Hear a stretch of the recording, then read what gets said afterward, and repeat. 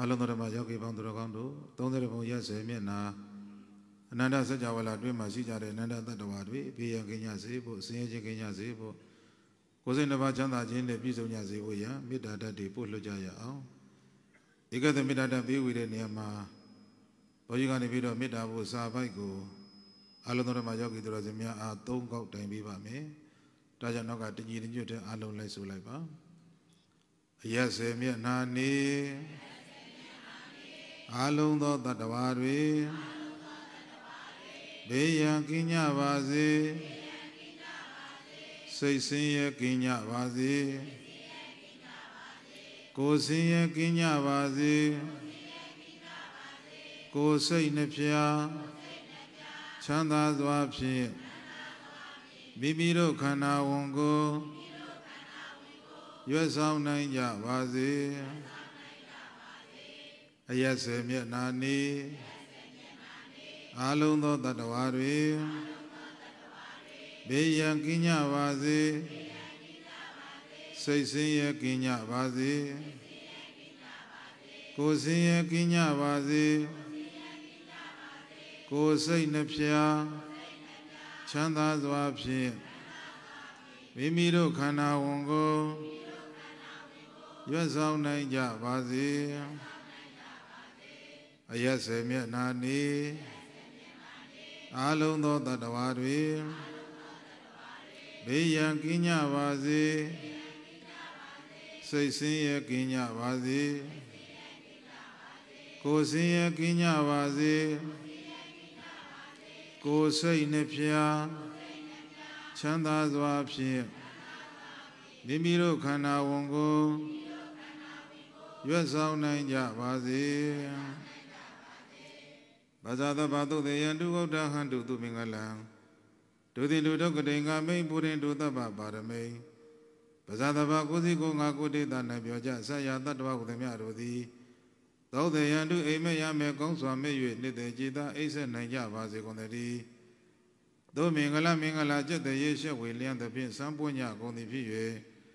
ဂௌတဟန္တုကောင်းစွာမို့တော်လင်းရောက်လျက်ထမြောင်တို့ကြနိုင်ကြပါစေကုန်သတည်း ဒုက္ကတိငါမိအပေဒုက္ကတိရောက်မိအကြောင်းမကောင်းကြီးဆိုဒုစရိုက်တရားမျိုးတွေကိုဒုသင်ဒုသူတော်လက်နဲ့တရားဓမ္မဆက်ဖြင့်ဖြိုဖျက်နိုင်ကြပါစေကုန်သတည်းသဗ္ဗပါရမိလောက်လျက်ဖြေကောင်းရာသည့်သုံးပြဆယ်လိပါရမီအပေါင်းအကျင့်ကောင်းတွေကိုဘုရင်တို့တစ်စင်းနဲ့တစ်စင်းမြင့်တဲ့မြင့်အောင်မလင့်ပုံတွေဖြည့်ကျင့်နိုင်ကြပါစေကုန်သတည်း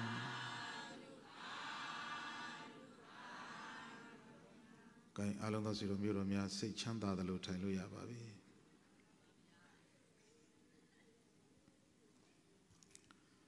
ဒီကနေ့ရန်ကုန်တိုင်းဒေသကြီးတကုံမျိုးသစ်တောင်ပိုင်း19ရက်ွက်မြရည်နန္ဒာလန်းကိုယ်တို့ပြန်ပါရေးဆွမ်းလောင်းအသင်းကြီးမှာကြီးမှု၍အပိုင်းလေးအပိုင်းကမိသားစုများဤပိစမအကြည်မြောက်အာစိဏကံ နှစ်ဦးဓမ္မပူဇာဓမ္မသဘင်ကိုယခုအခါမေတ္တာအာသီသမေတ္တာပဋ္ဌနာနဲ့စတင်လို့ဖွင့်လှစ်ပါပြီဓမ္မသဘင်ပွဲအခဲလို့ရောက်ရှိလာကြတဲ့တရားချစ်ခင်သူတော်စင်များ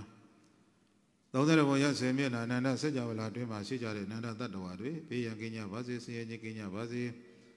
ကိုယ်စိတ်တစ်ပါးချမ်းသာခြင်းနဲ့ပြည့်စုံကြပါစေလို့မေတ္တာတတ်တွေဝေလို့ဘုန်းကြီးတွေဓမ္မသဘင်ကိုစတင်လို့ဖွင့်လှစ်ပါပြီဒီကနေ့ဆင်ကျင်းပါတဲ့ဓမ္မသဘင်မှာအာလုံးသောစီတော်မျိုးတော်များကိုဘုန်းကြီးတို့ တာယုဒ္ဓနိကေတဂါထာဝက်ကတာယုတ်ပါဠိတော်မှာလာရှိတဲ့သုတ်တန်တစ်ခုကိုခြေခံပြီးတော့ပြိဿများမှတ်မိလွယ်အောင်ဘုန်းကြီးတို့မြန်မာနာမည်လေးပဲပြီးထားပါတယ်ကောင်းမှု6မျိုးတရားတော်တဲ့ပြိဿဤပါတရားလဲကောင်းမှု6မျိုးတရားတော်လို့ဒီလိုနာမည်ပြီးပြီးတော့ခေါ်နာကျင်ကြကြရအောင်အာသောစီတော်မျိုးတော်များကိုဘုန်းကြီးတို့နှစ်နာရီလောက်ဟောရင်နားနိုင်ပါမလား 3နာရီလောက်ဆိုရင်ကိုအတန်နဲ့နဲ့ပြော့သွားတယ်မတင်းလာဘူးနော်အဲ့တော့ဒီနေ့ပိုင်းမှာဘုန်းကြီးကတရားဟောတဲ့အခါမှာနာမည်အပေးခံရတာများတယ်ဒီလောကတရားပွဲတစ်ခုမှာဒကာကြီးတယောက်ကဘုန်းကြီးကိုနာမည်ပေးသွားတယ်တို့ဆရာတော်က6ပလင်းဆရာတော်တဲ့ဘာဆရာတော်လဲလဲပြောဘုန်းကြီးကမေးတယ်ဒကာကြီး6ပလင်းဆိုတာဘာပြောတာတုံးလို့မေးတော့ 6ပလင်းဆိုတော့တကားလံမို့ဗျာတဲ့အရှင်ဘုရားကတရားဟောရင်ရှေလွန်းလို့တကားတွေအကုန်လံကုန်ပြီတဲ့ဟုတ်လားနာမည်တော့အပြတ်မခံဘူးခက်မြန်မြန်တရားသိမ်းတာပဲကောင်းတယ်ဟုတ်လားနော်အဲ့တော့မြတ်စွာဘုရားပြောထားတဲ့စကားလေးတစ်ခုရှိပါတယ်ချက်သားတို့တဲ့မင်းတို့ဟာဘယ်တကားပဲလက်ညှိုးထိုးထိုးဘယ်တကားမှပဲလက်ညှိုးထိုးထိုးဘဝတစ်ခုမှာဆွေမျိုးမတော်ဘူးတဲ့ပုဂ္ဂိုလ်ဆိုတာမရှိဘူးတဲ့ ပြိဿရေဆွေမျိုးမတော်ဘူးတဲ့ပုဂ္ဂိုလ်ရှိရလားဒါဆိုရင်ဒီကနေ့ဘုန်းကြီးတွေကအလုံးသောဆွေတော်မျိုးတော်များဟာဒဇိမ့်နေလားဆွေမျိုးတွေလားလို့မေးရင်ဆွေမျိုးတွေတန်တရာအစင်ဆက်ကတော်လာတဲ့ဆွေမျိုးတွေမှန်ရလားဒါကြောင့်အခုဘုန်းကြီးတရားဟောတဲ့အခါမှာစိတ်ထဲမှာအာရုံပြုထားပါတယ်ငါဒီကနေ့တရားဟောနေတာဟာဒဇိမ့်တွေကိုငါဟောနေတာမဟုတ်ဘူးငါဆွေမျိုးတွေကိုငါဟောနေတာပဲလို့ဘုန်းကြီးတို့စိတ်ထဲမှာဒီလိုပဲအာရုံပြုထားပါတယ် ဒါကြောင့်ဒီနေ့တန်တရာအစင်ဆက်ကတော်လာကြတဲ့ဆွေတော်မျိုးတော်တွေကိုဓမ္မဒါနတရားအလူဘေးဝေခွင့်ရတဲ့အတွက်ကြောင့်ဘုန်းကြီးတို့အမတ်ဓမ္မဝမ်းသာပါတယ်လို့နော်ဒါကြောင့်ဘုန်းကြီးတို့ရှေးဥစွာဘာပြောခြင်းတုံးဆိုတော့တရားနာတယ်ဆိုတာရှိတယ်တရားနာထောင်တယ်ဆိုတာရှိတယ်ပြိဿရေတူးရဲ့လားတရားနာတာရဲ့တရားနာထောင်တာတရားနာတယ်ဆိုတာကဒီတရားတွေကအတိုင်း လိုက်တာကျင့်သုံးဖို့အတွက်နာတာကိုတရားနာတယ်လို့ခေါ်တယ်မှန်ရဲ့လားတရားနာထောင်တယ်ဆိုတာကဩသူတို့ကတရားပွဲသွားကြတယ်တို့ကြောင့်ငါမတွေ့ရင်ရှက်စရာကြီးလေဆိုပြီးတော့ဝတ်တရားရလေးလာပြီးတော့နားထောင်တာကိုကြတော့တရားနားထောင်တယ်လို့ခေါ်တယ်ဒီနေ့အားလုံးသောဆိုတော်မျိုးတော်များကတရားနာဖို့လာတာလားတရားနားထောင်ဖို့လာတာလား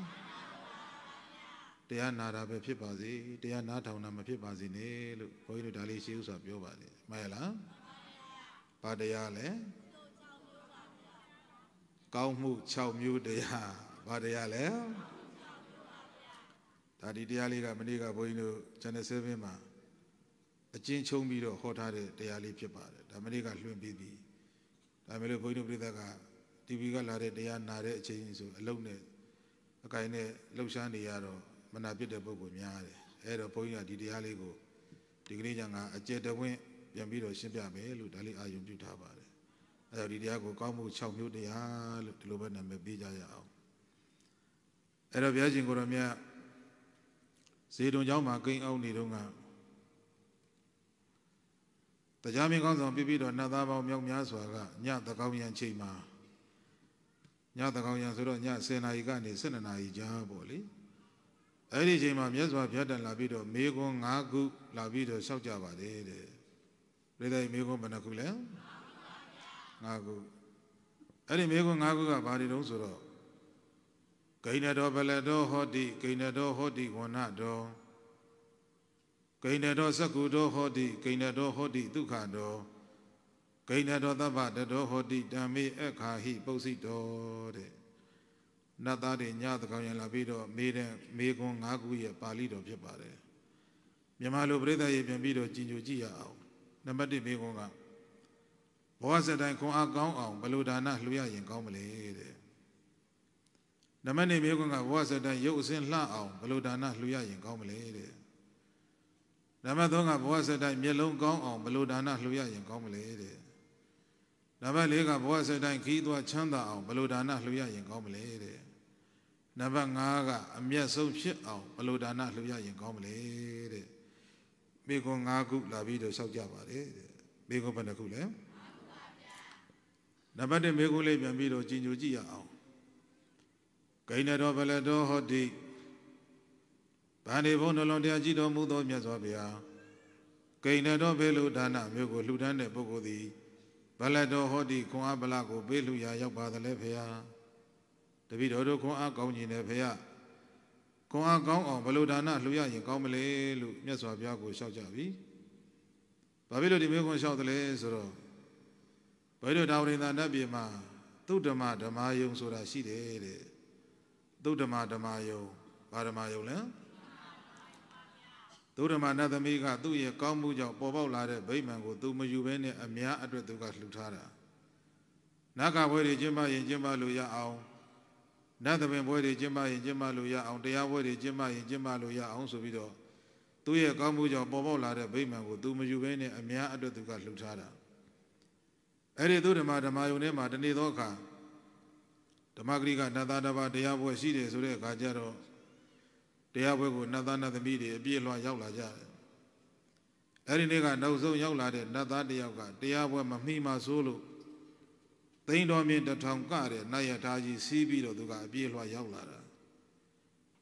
အဲ့ဒါသူနတ်ရထားကိုအချိန်မထိန်နိုင်တဲ့အခါကျတော့ဂိတ်မှာစောင့်နေတဲ့ဂိတ်ဆောင်နတ်သားကိုတော့ဝင်တိုက်မိတယ် ဝင်တိုက်မိတော့ဂိတ်ဆောင်နတ်သားကဒေါသဖြစ်သွားတယ်ဟေးကောင်မိဒီမှာနတ်သားတွေလိုမတ်တရနေတာမင်းမတွေ့ဘူးလားမင်းမျက်စိကန်းနေသလားဆိုပြီးတော့စိတ်တူပြီးတော့အဲ့ဒီနတ်ရထားကိုလက်ညှိုးလေးနဲ့ဒါလေးတွန်းထည့်လိုက်တာခုနကသိန်းတော်မင်းတစ်ထောင်ကတဲ့နတ်ရထားဟာဖင်ထိုင်ရဲ့လဲသွားတယ်တဲ့လက်ညှိုးလေးနဲ့တွန်းလိုက်တာနတ်ရထားကြီးလဲသွားတယ်အဲ့ဒါတရားပွဲကျင်းပါရင်နဲ့နတ်သားတွေနောက်လဲကြည့်တယ်ဟာဟောကောင်တွေဘယ်လိုဖြစ်နေတာတော့ကြည့်လိုက်တဲ့အခါကျတော့ဩ လက်ဆံသားတော့ဂိမ်းဆောင်နတ်သားတွန်းလိုက်လို့နတ်ရထားကြီးလဲသွားတာပဲဆိုတာသူတို့သိလိုက်တယ်သိတဲ့အခါကျတော့မှချင်းချင်းတိုင်ပင်နေဟေးဒီနတ်သားကတော့သိခွန်အားကောင်းတယ်ကွာတို့လည်းပဲသူ့လိုပဲခွန်အားကောင်းနေတယ်ခွန်အားကောင်းအောင်တို့ဘာလှူရရင်ကောင်းမလဲဘလို့ဒါနမျိုးကိုတို့စံပြူကြည့်ချရရင်ကောင်းမလဲလို့ချင်းချင်းတိုင်ပင်တဲ့အခါကျတော့အဖြေကမထွက်လာဘူးဒီမထွက်လာတဲ့အခါကျတော့တရားမင်းကြီးသွားမေးတယ်ရှင်တရားမင်း ကျတို့လည်းအဲ့ဒီဂိတ်ဆောင်နတ်သားလိုပဲခွန်အားကောင်းနေတယ်ဗျာခွန်အားကောင်းအောင်ဘလို့ဒါနလှူရရင်ကောင်းမလဲအရှင်တရားမင်းသိသလားလို့သွားမေးတော့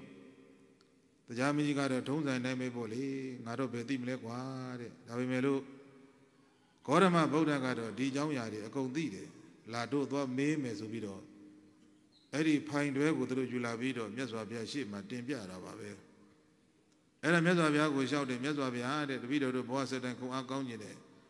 ခုံအားကောင်းအောင်ဘယ်လိုဒါနလှုပ်ရရင်ကောင်းမလဲလို့မြတ်စွာဘုရားကိုလျှောက်ကြပြီဒီတော့မြတ်စွာဘုရားကဘာဖြစ်တော်မူလိုက်တုံးဆိုတော့အာနတောဗလတောဟောတိဒေဝဗုဒ္ဓသာသိလို့ရဖြစ်ပြီလာခဲ့ညာတကနတ်သာအာနတောအာဟာရအစရှိသည်ကိုလှူဒန်းတဲ့ပုဂ္ဂိုလ်သည်ဗလတောဟောတိခွန်အားဗလာကိုပေးလူရာရောက်ပေ၏ဤဒီသောဘဂဝါသုံးလောကဒုတ္တသဗ္ဗညုဘုရားရှင်ကိုရောမြတ်သည်ဣမံပညာဣမေကွန်ရဲ့အဖြေကိုလည်းပဲ ဗျာကရောသည်စုံဆိုင်မရှိဟုတ်တိုင်းမှန်စွာဖြေကြတော့မူလိုက်ပါပေတည်း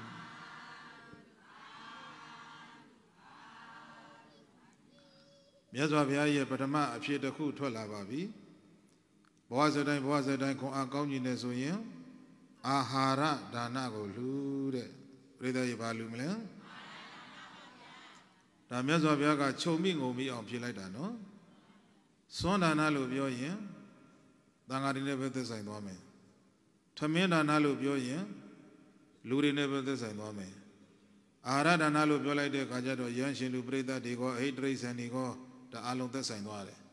ဒါကြောင့်မြတ်စွာဘုရားကအလုံးကိုခြုံမိငုံမိအောင်ဆိုပြီးတော့ခြေသားတို့တဲ့ဘဝစတိုင်းကိုအားကောင်းကျင်တယ်ဆိုရင်အာဟာရဒါနကိုလှူတဲ့ဘာလှူမလဲဟောမဟုတ်ဘုန်းကြီးတို့ပြိဿစဉ်းစားကြည့်ပေါ့ ဒီအစာအာဟာရလေးမှမစားရဘူးဆိုရင်ခွန်အားဆိုတာဖြစ်ပါမလားမဖြစ်ဘူးအစာသာလင်အားဖြစ်တာအမှန်ရလားတက္ကတက္ကဘုန်းကြီးတို့ပြိဿယောဂဝိနာတစ်ခုရပြီဆိုရင်ဆေးကန်းသွားပြီးတော့ဆေးကုတယ်ဆရာဝန်ကလည်းပဲဆေးတွေပါတွေထိုးတယ်တောက်ဆေးတွေပါတွေပေးတယ်အဲ့တော့ဆရာဝန်တောက်ဆေးပေးတဲ့အခါမှာဆရာဝန်မှားလိုက်တဲ့စကားလေးတစ်ခုရှိပါတယ်ပြိဿဘာမှားလိုက်လဲဒီဆေးလေးမတောက်ခင် အစာလေးနည်းနည်းစားဦးနော်လို့မှားလိုက်ဘူးလားမှားလိုက်တယ်သူဆေးမှာသာအားရရှိတယ်ဆိုရင်ဒီအာဟာရဟာစားကြမလို့ဘူးမှန်ရလားဘုန်းကြီးတို့ပြိဿအားရှိအောင်ဆိုပြီးတော့အားစိတွေကြီးပဲအလုံးတရာလောက်စားကြည့်ပါလားသိသွားနိုင်တယ်အစာသာလင်အားဖြစ်တာဒါကြောင့်မြတ်စွာဘုရားကတိချင်းရာကိုသိလို့ချက်သားတို့ဘောဇတိုင်ကိုအားကောင်းခြင်းနဲ့ဆိုရင်အာရဒါနကိုလှူတဲ့ဒီနေ့အလုံးသောဆိုတော်မျိုးတော်များသာသနာတော်မှာထင်ပေါ်ကြော်ကြားတဲ့ ဒကမာကြီးတယောက်ရှိခဲ့ဘူးပါတယ်ဝိတာခာပြိဿကြီးဘယ်သူလဲဝိတာခာဒကမာကြီးဟာဘလောက်အားကောင်းတယ်လို့ဘုန်းကြီးတို့ပြိဿကြားဘူးလဲစင်မြောင်၅စီအာမှန်ကြည့်တယ်အာနွဲတဲ့မိန်းကလေးတယောက်ကအဲ့ဒီလိုစင်မြောင်၅စီအာမှန်ကြည့်နေတာကိုတွေ့ရတယ်ဘုန်းကြီးတို့လဲလာတယ်ပေါ့လေဝိသကာတက္ကမကြီးဘာဖြစ်လို့လောက်တော့ခွန်အားတွေကောင်းနေရတာတုံးလို့သူ့ရဲ့နောက်ကြောင်ကောင်းမှုလေးတွေသူလှူခဲ့တဲ့စည်ရင်လေးတွေလိုက်ကြည့်တဲ့အခါကျတော့ သူကအာဟာရဒါနကိုကြည့်ပဲလှူခဲ့တာများတယ်တန်ဃာတွေကိုဆွန်းလောင်းပြီဆိုလည်းပဲတန်ဃာတွေကတားတယ်တက္ကမကြီးတပိတ်ပြည့်နေပြီတော်ရင်ကောင်းမယ်နဲ့တူတယ်ဒကမကြီးတပိတ်ရှမ်းနေပြီတော်မှဖြစ်မယ်နဲ့တူတယ်တန်ဃာတွေကတားကိုတားရတယ်ဝိသကဒကမကြီးဟာလှူတဲ့ကံမှာအရှမ်းအပဲလှူတယ်တဲ့ဘယ်လိုလှူလဲအရှမ်းအပဲလှူတယ်အကျိုးပေးတော့လည်းပဲအရှမ်းအပဲအကျိုးပေးတယ်မှန်ရဲ့လား ဝိဒုပရိသတ်အားလုံးကြားဥပါတယ်ဝိသကဒကမကြီးမှာသာသမီ20ရှိတယ်မြေး400ရှိတယ်မြစ်8000ရှိတယ်အဲ့ဒါအရှမ်းပဲတွေပဲဒကမကြီးတွေအဲ့လိုအရှမ်းပဲလူချင်းတာအရှမ်းပဲလူရမှာဟုတ်လားနော်သာသမီ20မြေး400မြစ်8000ဒါကြောင့်မြတ်စွာဘုရားကအားလုံးကိုခြုံမိငုံမိအောင်ဆိုပြီးတော့ခြေသားတို့တဲ့ဘဝစတိုင်းကောင်းကောင်းကြီးနေဆိုရင်အာရဒါနကိုလူတဲ့ဒီတော့ဘုန်းတော်ပြိဿပေါင်းသူတော်ကောင်းတို့အားလုံးသိပါတယ်လူတယ်ဆိုတဲ့နေရာမှာလည်းပဲ နဲတာများတာဟာဗราဏဟုတ်ရဲ့လားဘာကဗราဏလဲစေရနာကဗราဏစေရနာကောင်းရင်ကံကောင်းတယ်ဒါဘုန်းတော်ပြိဿအားလုံးသိပြီးသားဖြစ်ပါတယ်မှန်လားတလောကဘုန်းကြီးတရားပွဲတစ်ခုကြွသွားတော့နိဗ္ဗာန်ဆိုတကာကြီးတရားမှားယွင်းတဲ့စကားလေးတစ်ခုထည့်អော်သွားတာဘုန်းကြီးနားထဲမှာကြားလိုက်တယ်တကာကြီးကဘာអော်လိုက်တုံးဆိုတော့ဒါနနင်းရင်မွဲတတ်တယ်လို့ ဒါလေးတက်ပြီးတော့អော်သွားတာဒါနနင်းရင်ဘာဖြစ်တယ်လဲလဲမြတ်စွာဘုရားကချက်သားတို့ဒါနနည်းနည်းလေးလူရင်မွဲတယ်လို့ဘယ်ဖះမှာဟောထားတာမရှိပါဘူးရှိရလားမြတ်စွာဘုရားဟောတာကချက်သားတို့တဲ့ညောင်စိလေးဟာသေးသေးလေးပါတဲ့ညောင်စိဟာသေးသလားကြီးသလားဟိုနှမ်းစိလေးနဲ့စာကြည့်ပါလားညောင်စိကပူတော်မှသေးသေးတယ်အဲ့ဒီညောင်စိသေးသေးလေးကိုအပင်ဆက်လိုက်မယ်ဆိုလို့ရှိရင် အကိုင်းအခက်လက်တွေဝေစာပြီးတော့ကြီးကျယ်တဲ့ညောင်မေကြီးတပင်ဖြစ်လာသလိုပဲတဲ့ခြေသားတွေဒါနဟာလည်းပဲနည်းနည်းကလေးဆိုပေမဲ့လို့ကြီးကျယ်တဲ့အကျိုးတရားကိုခံစားရပါတယ်လို့မြတ်စွာဘုရားဒီတိုင်းပဲဟောထားတာရှိပါတယ်။ဒါတော့ဘုရားပြိဿဒါနနည်းလို့မွဲတယ်ဆိုတာဟုတ်ရဲ့လား။မဟုတ်ဘူးနော်။အဲ့ဒီစကားလေးကိုပြင်ပြီးတော့ပြောမယ်။ဒါနနည်းလို့မွဲတာမဟုတ်ပါဘူး။ဒါနလွဲလို့မွဲတာပါ။ဘာဖြစ်လို့မွဲတာလဲ။ တချို့တချို့တရားဓမ္မတွေဒါနတစ်ခုလို့ရင်ဘုန်းကြီးတို့လွဲကြုံနေတာလေးတွေတွေ့တယ်နော်မြတ်စွာဘုရားကသဗ္ဗရိတသုတ်တံမှာဘာဟောထားတုံးဆိုတော့ခြေသားတို့တဲ့ဒါနတစ်ခုလုပ်မယ်ဆိုရင်တဲ့နံပါတ်1ကရိုးရိုးသေးသေးလှူရမယ်တဲ့နံပါတ်2ကယုံယုံကြည်ကြည်နဲ့လှူရမယ်တဲ့နံပါတ်3ကအသုံးတဲ့တဲ့ပစ္စည်းလှူရမယ်တဲ့နံပါတ်4ကမထိပါမပုတ်ခတ်ဖဲနဲ့လှူရမယ်တဲ့ နံပါတ်5ကတွေ့ညှိတဲ့စိတ်နဲ့မလှူရဘူးတဲ့မြတ်စွာဘုရားသဗ္ဗရိတာသုတ်တံမှာအဲ့ဒီအချက်5ချက်ဟောထားတာရှိပါတယ်မမိအောင်ပြန်ပြောမယ်နော်နံပါတ်1ကဘာလဲရိုးရိုးသေးသေးလှူပါနံပါတ်2ကယုံယုံကြည်ကြည်လှူပါနံပါတ်3ကနံပါတ်3ကနံပါတ်3ပေါ့ဟုတ်လားအသုံးတဲ့တဲ့ပစ္စည်းလူပါဗါတယ်လေ ပစ္စည်းတစ်ခုလူပြီးဆိုရင်အသုံးတဲ့တဲ့ပစ္စည်းလေးရွေးပြီးတော့လှူရရတယ်အသုံးမတဲ့တာလေးလို့မသုံးရင်ဘုန်းကြီးတို့ပြိဿကုသိုလ်ရပါမလားမရဘူးအသုံးတဲ့တာလေးရွေးပြီးတော့လှူရရတယ်ခုဒီမှာဘုန်းကြီးပြီးတော့မှဒီမှာရက်တောင်တစ်ချောင်းပါတယ်အဲ့တော့ဘုန်းကြီးတို့ဓမ္မဂရိကတွေနှစ်ပတ်လေတရားဟောရင်အဲ့ဒီရက်တောင်တစ်ချောင်းလေးနဲ့ပြီးသွားရောဒါတစ်နှစ်ပတ်လေလုံးဒီတစ်ချောင်းပဲကင်တာဒါကားပေါ်မြေတန်းတင်တာအဲ့ဒါတရားဓမ္မတွေကဘယ်လိုဖြစ်တုံးဆိုတော့ဩတဲ့ရက်တောင်လှူရင်တဲ့ဘဝအေးမြတယ်တဲ့ ရက်တောင်တွေကြီးပဲတခါတည်းနင်းကလှူနေကြတာတနေ့ကဆိုရက်တောင်တွေဟာလာတရားပွဲပြီးလို့ရက်တောင်ကြီးကြီးတာအချောင်း600ကျော်လောက်ရတယ်ရက်ဘုန်းကြီးကအဲ့ဒီရက်တောင်အပုံကြီးကိုကြည့်ပြီးတော့စဉ်းစားတယ်ပေါ့လေငါ့ကိုဒီရက်တောင်တွေလူနေမဲ့စားငါတောက်နေကြဈေးလေးများဖြစ်ရင်သိကောင်းမှာပဲပေါ့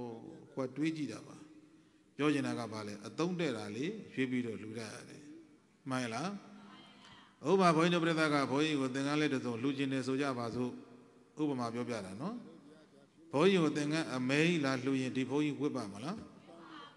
အဲဝတ်မလဲအစတည်းကအသားမဲပါတယ်ဆိုမှဟုတ်လားအသားမဲတော့ဘာဆင်ရလဲအရဲဆင်ရတယ်အနီလေးနဲ့မှအဆင်ပြေတာမှန်လား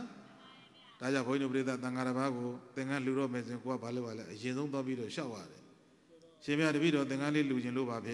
။ရှင်ဘုရားဘာအသားလေးကြိုက်လဲဖေ။ဘာအယောင်လေးကြိုက်လဲဖေ။သူကြိုက်တာလှူလို့သူဝင့်ရင်ဘုန်းကြီးတို့ပြိဿကုသိုလ်ရမှာပေါ့။ မှန်ရဲ့လား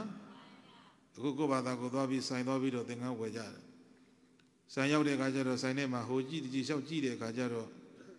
ကိုယ်မျက်စိရှိမှဘာတွေ့တုံးဆိုတော့ချင်းသင်္ကန်းလေးတွေ့တယ်။ဘုန်းကြီးတို့ပြိဿချင်းသင်္ကန်းတွေ့ဘူးတယ်နော်။ရှင်သင်္ကန်းထဲမှာသင်္ကန်းလည်းပါတယ်ထီလည်းပါတယ်ဖဏတ်လည်းပါတယ်ရက်တောင်လည်းပါတယ်အနေကတိုင်လည်းပါတယ်တပိတ်လည်းပါတယ်အဘောကဘာလုပ်တာလဲပလစရိတ်နဲ့အသေးပတ်ထားတာ အဲ့တော့ကိုကတရားတရားကလည်းအမတအားကောင်းနေတဲ့အချိန်ဆိုတော့ဩချင်းသင်္ကန်းလေးလှလိုက်တာဘယ်လောက်ပေးရတသောင်းခွဲပေးရတယ်ဝယ်ပြီးတော့လှူလိုက်တာပဲဒါမှလည်းအဲ့ဒီရှင်သင်္ကန်းထဲမှာရှင်သင်္ကန်းထဲမှာပါတဲ့သင်္ကန်းဟာဘာအသားလဲဆိုတာကင်ကြည့်လို့ရရဲ့လားဘာအယောင်လဲဆိုတာကိုကြည့်လို့ရရဲ့လားဘယ်ရမလဲဘူးတဲ့ထည့်ပြီးတော့ဘောကပလစရိတ်နဲ့အသေးပတ်ထားတာကိုဘယ်ကြည့်လို့ရမလဲအဲ့တော့ဘုန်းကြီးတို့သံဃာတော်များကတော့အဲ့ဒီချင်းသင်္ကန်းထဲမှာပါတဲ့သင်္ကန်းကိုယတ်သင်္ကန်းလို့ခေါ်ပါတယ်ဘာသင်္ကန်းလဲ ယတ်သင်္ကန်းယတ်သင်္ကန်းဆိုတာယတ်တစိတ်ကိုပြောတာမဟုတ်ဘူးအထဲမှာသင်္ကန်းကပါပါလေးမတ်တက်ရက်နေရတာဒါရင်ပြဲသွားမှာဆိုလို့ပါလားနော်ဘာသင်္ကန်းလဲယတ်သင်္ကန်းနဲ့တချို့သံဃာတော်များကတော့အဲ့ဒီချင်းသင်္ကန်းထဲမှာပါတဲ့သင်္ကန်းကိုပဋိစ္စသမုပ္ပါသင်္ကန်းလို့ခေါ်ပါတယ်ဘာသင်္ကန်းလဲပရိစ္ဆေသမုပ္ပါဆိုတာသိတယ်နော်ဆက်ဝိုင်းလေလဲနေတာ ပရမသုံးဆိုင်ကနေပြီးတော့အကြောင်းရောက်လာတယ်နောက်မကြဘူးတခါကျောင်းကနေပြီးတော့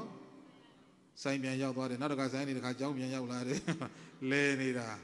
ဘာသင်္ကန်းလဲပဋိစ္စသမုပ္ပါသင်္ကန်းနဲ့အဲ့ဒီချင်းသင်္ကန်းထဲမှာပါတဲ့ဖဏတ်ကိုဘုန်းကြီးတို့တန်ဃာတော်များကတော့စွတ်ပြုတ်ဖဏတ်လို့ခေါ်ပါတယ်ဘာဖဏတ်လဲခြေထောက်နဲ့စွတ်လိုက်ရင်ထိတ်ကပြုတ်ထွက်သွားရောဟုတ်လားနော် ပြောချင်တာကအပြစ်ပြောတာမဟုတ်ပါဘူးအတုံးတက်တာလေးရွေးပြီးတော့လှူတတ်တယ်ဒါလေးပြောချင်တာပါမှန်လားနံပါတ်၄ကပါတယ်လေမထိပါမပုတ်ခတ်ဘဲနဲ့လှူရမယ်တဲ့ပစ္စည်းတစ်ခုလှူပြီးဆိုရင် ပြိုင်ပြီးတော့မလှူကောင်းဘူးလှူကောင်းရဲ့လားသူလည်းပဲသူတက်နေတယ်လို့သူလှူတာကိုလည်းပဲကိုတက်နေတယ်လို့ကိုလှူတာပြိုင်ပြီးတော့မလှူကောင်းဘူးဘုန်းကြီးလည်းပဲတောသားပါပဲများသောအဘများသောအပြင်တောသူတောင်သားတွေရဲ့သဘာဝက အလူတစ်ခုလှုပ်ပြီးဆိုရင်ပြိုင်ပြီးတော့လှူကြတာများတယ်အလူအိမ်ကစားပြီးတော့ပြန်လာတယ်အိမ်ရောက်တဲ့ခါကျတော့ဘာပြောတယ်မှတ်လဲဝတ်သားအာလူရောထားတယ်ဘူးသီးရောထားတယ်တို့လည်းကြရင်ပလိမ့်မဲ့တခါတည်းလှူလိုက်မယ်ပြိုင်တာပြိုင်တာလက်ဘက်တော့ကလေးစားလာတဲ့စီတော်မပါဘူးတို့လည်းကြရင်လက်ကြားမှာစီယူအောင်တခါတည်းလှူထက်လိုက်မယ်ပြိုင်ပြီးတော့လှူကြတာပြည့်တဲ့အဲ့လိုပြိုင်ကောင်းရဲ့လားမပြိုင်ကောင်းဘူးနော် ဘုန်းကြီးတို့ရွာဘက်မှာရွာတရွာရှိတယ်ကျောင်းနှစ်ကျောင်းရှိတယ်တောင်ကျောင်းနဲ့မြောက်ကျောင်းတောင်ကျောင်းဘုန်းကြီးပြန်တော်မူတော့တောင်ကျောင်းကတရားဓမ္မတွေကသူတို့ဘုန်းကြီးကိုကြည်ညိုလွန်းလို့နောက်ဆုံးပူဇော်ရတာပဲလေဆိုပြီးတော့အင်းရကျူးတွေဇက်တွေအငိမ့်တွေအကြီးကျယ်လောက်ကြတာဟုတ်အဲ့ဒါဒီဘက်ကမြောက်ကျောင်းကတရားဓမ္မတွေကဘာပြောတယ်မှတ်လဲအေးပေါ့ကွာတဲ့မင်းတို့ဘုန်းကြီးပြန်တော်မူတော့လှုပ်ထားအောင်မို့တဲ့ဟုတ်လားတို့ဘုန်းကြီးလဲကြရင်ဒီတဲ့ကြီးကျယ်အောင်လှုပ်လိုက်မယ်တဲ့ပြိုင်ကြတာပြောပါတယ် ဒီကဘုန်းကြီးကနှာတော်မစည်းသေးဘူးသူတို့ပြိုင်နေကြတာပြည့်တဲ့အဲ့လိုပြိုင်ကောင်းရဲ့လားမပြိုင်ကောင်းဘူးเนาะဒါကြောင့်အလူတစ်ခုလုပ်ရင်မတိပါမပုတ်ကပ်ပဲနဲ့လူရမယ်နံပါတ်5ကတွေ့ညှိတဲ့စိတ်နဲ့မလှူပါနဲ့တဲ့အားရလေမௌဒ္ဒစာကဆိုတာဘာပြောတာလဲလွတ်လွတ်စွန့်ကြဲတာမှန်ရလားရေသက်ချပြီးပြီးလှူပြီးပြီးဆိုဩငါဘယ်နေ့ဘဲကဘယ်နေရာမှာဘယ်လိုလှူခဲ့တာပဲဆိုပြီးတော့ အပရစေရနာဖြစ်အောင်လို့အမြဲတမ်းတွေးပြီးတော့ဘာလုပ်ရမလဲဝမ်းမြောက်နေရမယ်တချို့ကြတော့လှူပြီးရင်ဘာပြောဆိုတော့ဒါတဲ့ငါလှူထားတဲ့ကြောင်းနဲ့ဒါငါကြောင်းပေါ့တဲ့ဖရာတဲ့ပြင်လဲဘာပြောလဲဒါငါတည်ထားတဲ့ဖရာတဲ့ဒါငါဖရာပေါ့တဲ့ငါဇွဲကမပြုတ်ဘူးရဟန်းတစ်ပါးသိက္ခာထပ်ပြင်လဲဘာပြောလဲဒါငါသိက္ခာတတ်တဲ့ဘုန်းကြီးတဲ့ဒါငါဘုန်းကြီးပေါ့တဲ့အဲ့လိုလို့လို့ပြိဿရေရပါမလား အေးဒါကြောင့်မြတ်စွာဘုရားသဗ္ဗရိတသုတ်တံမှာအဲ့ဒီအချက်၅ချက်ခေါ်ထားတာရှိပါတယ်။ဒါတော့ဘုန်းကြီးတို့ပြိဿဒါနနင်းလို့မွဲတယ်ဆိုတာဟုတ်ရဲ့လား။ဘာဖြစ်လို့မွဲတာလဲ။ဒါနလွဲလို့မွဲတာပါ။ဒါလေးပြန်တဲ့ပေးတာပါအပြစ်ပြောတာမဟုတ်ပါဘူး။မှန်လား။ဘုန်းကြီးတို့ကစာရေးနေတဲ့ဓမ္မဂရိကဆိုတော့လူတယောက်စကားပြောရင်မှားသလားမှန်သလားဝေဖန်တဲ့အကျင့်ပါနေတယ်။နောက်ဆုံးကုံကုံပြောရရင်တခြင်းတစ်ပုတ်နားတဲ့ကြားရင်တော့မှဒီတခြင်းမှားသလားမှန်သလား ဘုသူစော်ကားတဲ့သခြင်းလေးအကွက်ဝေဖန်တဲ့အကျင့်ကိုပါနေတယ်။ဘုန်းကြီးတကားမန္တလေးမတရားသားဟောပြီးတော့အိစဘတ်ကားနဲ့ပြန်လာ။ကားပေါ်မှာခီးတယ်တွေပြင်းမှဆိုးလို့သခြင်းလေးတွေဖွင့်ပြတယ်။ဇလန်းလေးတွေဖွင့်ပြတယ်လေ။အဲ့ဒီမှာဘုန်းကြီးမျက်စိရှိမှဘာသခြင်းတွေ့လိုက်တုံးဆိုတော့ဝိုင်းစုဂိုင်သိန်းဆိုတဲ့သခြင်းလေးတစ်ပုဒ်ဘုန်းကြီးမျက်စိရှိမှတွေ့လိုက်တယ်။အဲ့တော့သူစာသားကဘာပြောတုံးဆိုတော့ မင်းပြောတဲ့စကားတွေမင်းဟောတဲ့တရားတွေယုံစားမိလို့မှားပြီဗောတဲ့စာသားကအဲ့ဒီလိုလာတာမင်းပြောတဲ့စကားတွေဆိုတော်တော့ပါပြီနောက်ကဘာပါသေးလဲမင်းဟောတဲ့တရားတွေရဲ့ဘုန်းကြီးကစဉ်းစားတယ်ဧကန္နသူချစ်သူကဘုန်းကြီးလူထွက်နေတူတယ်လို့ဟုတ်လား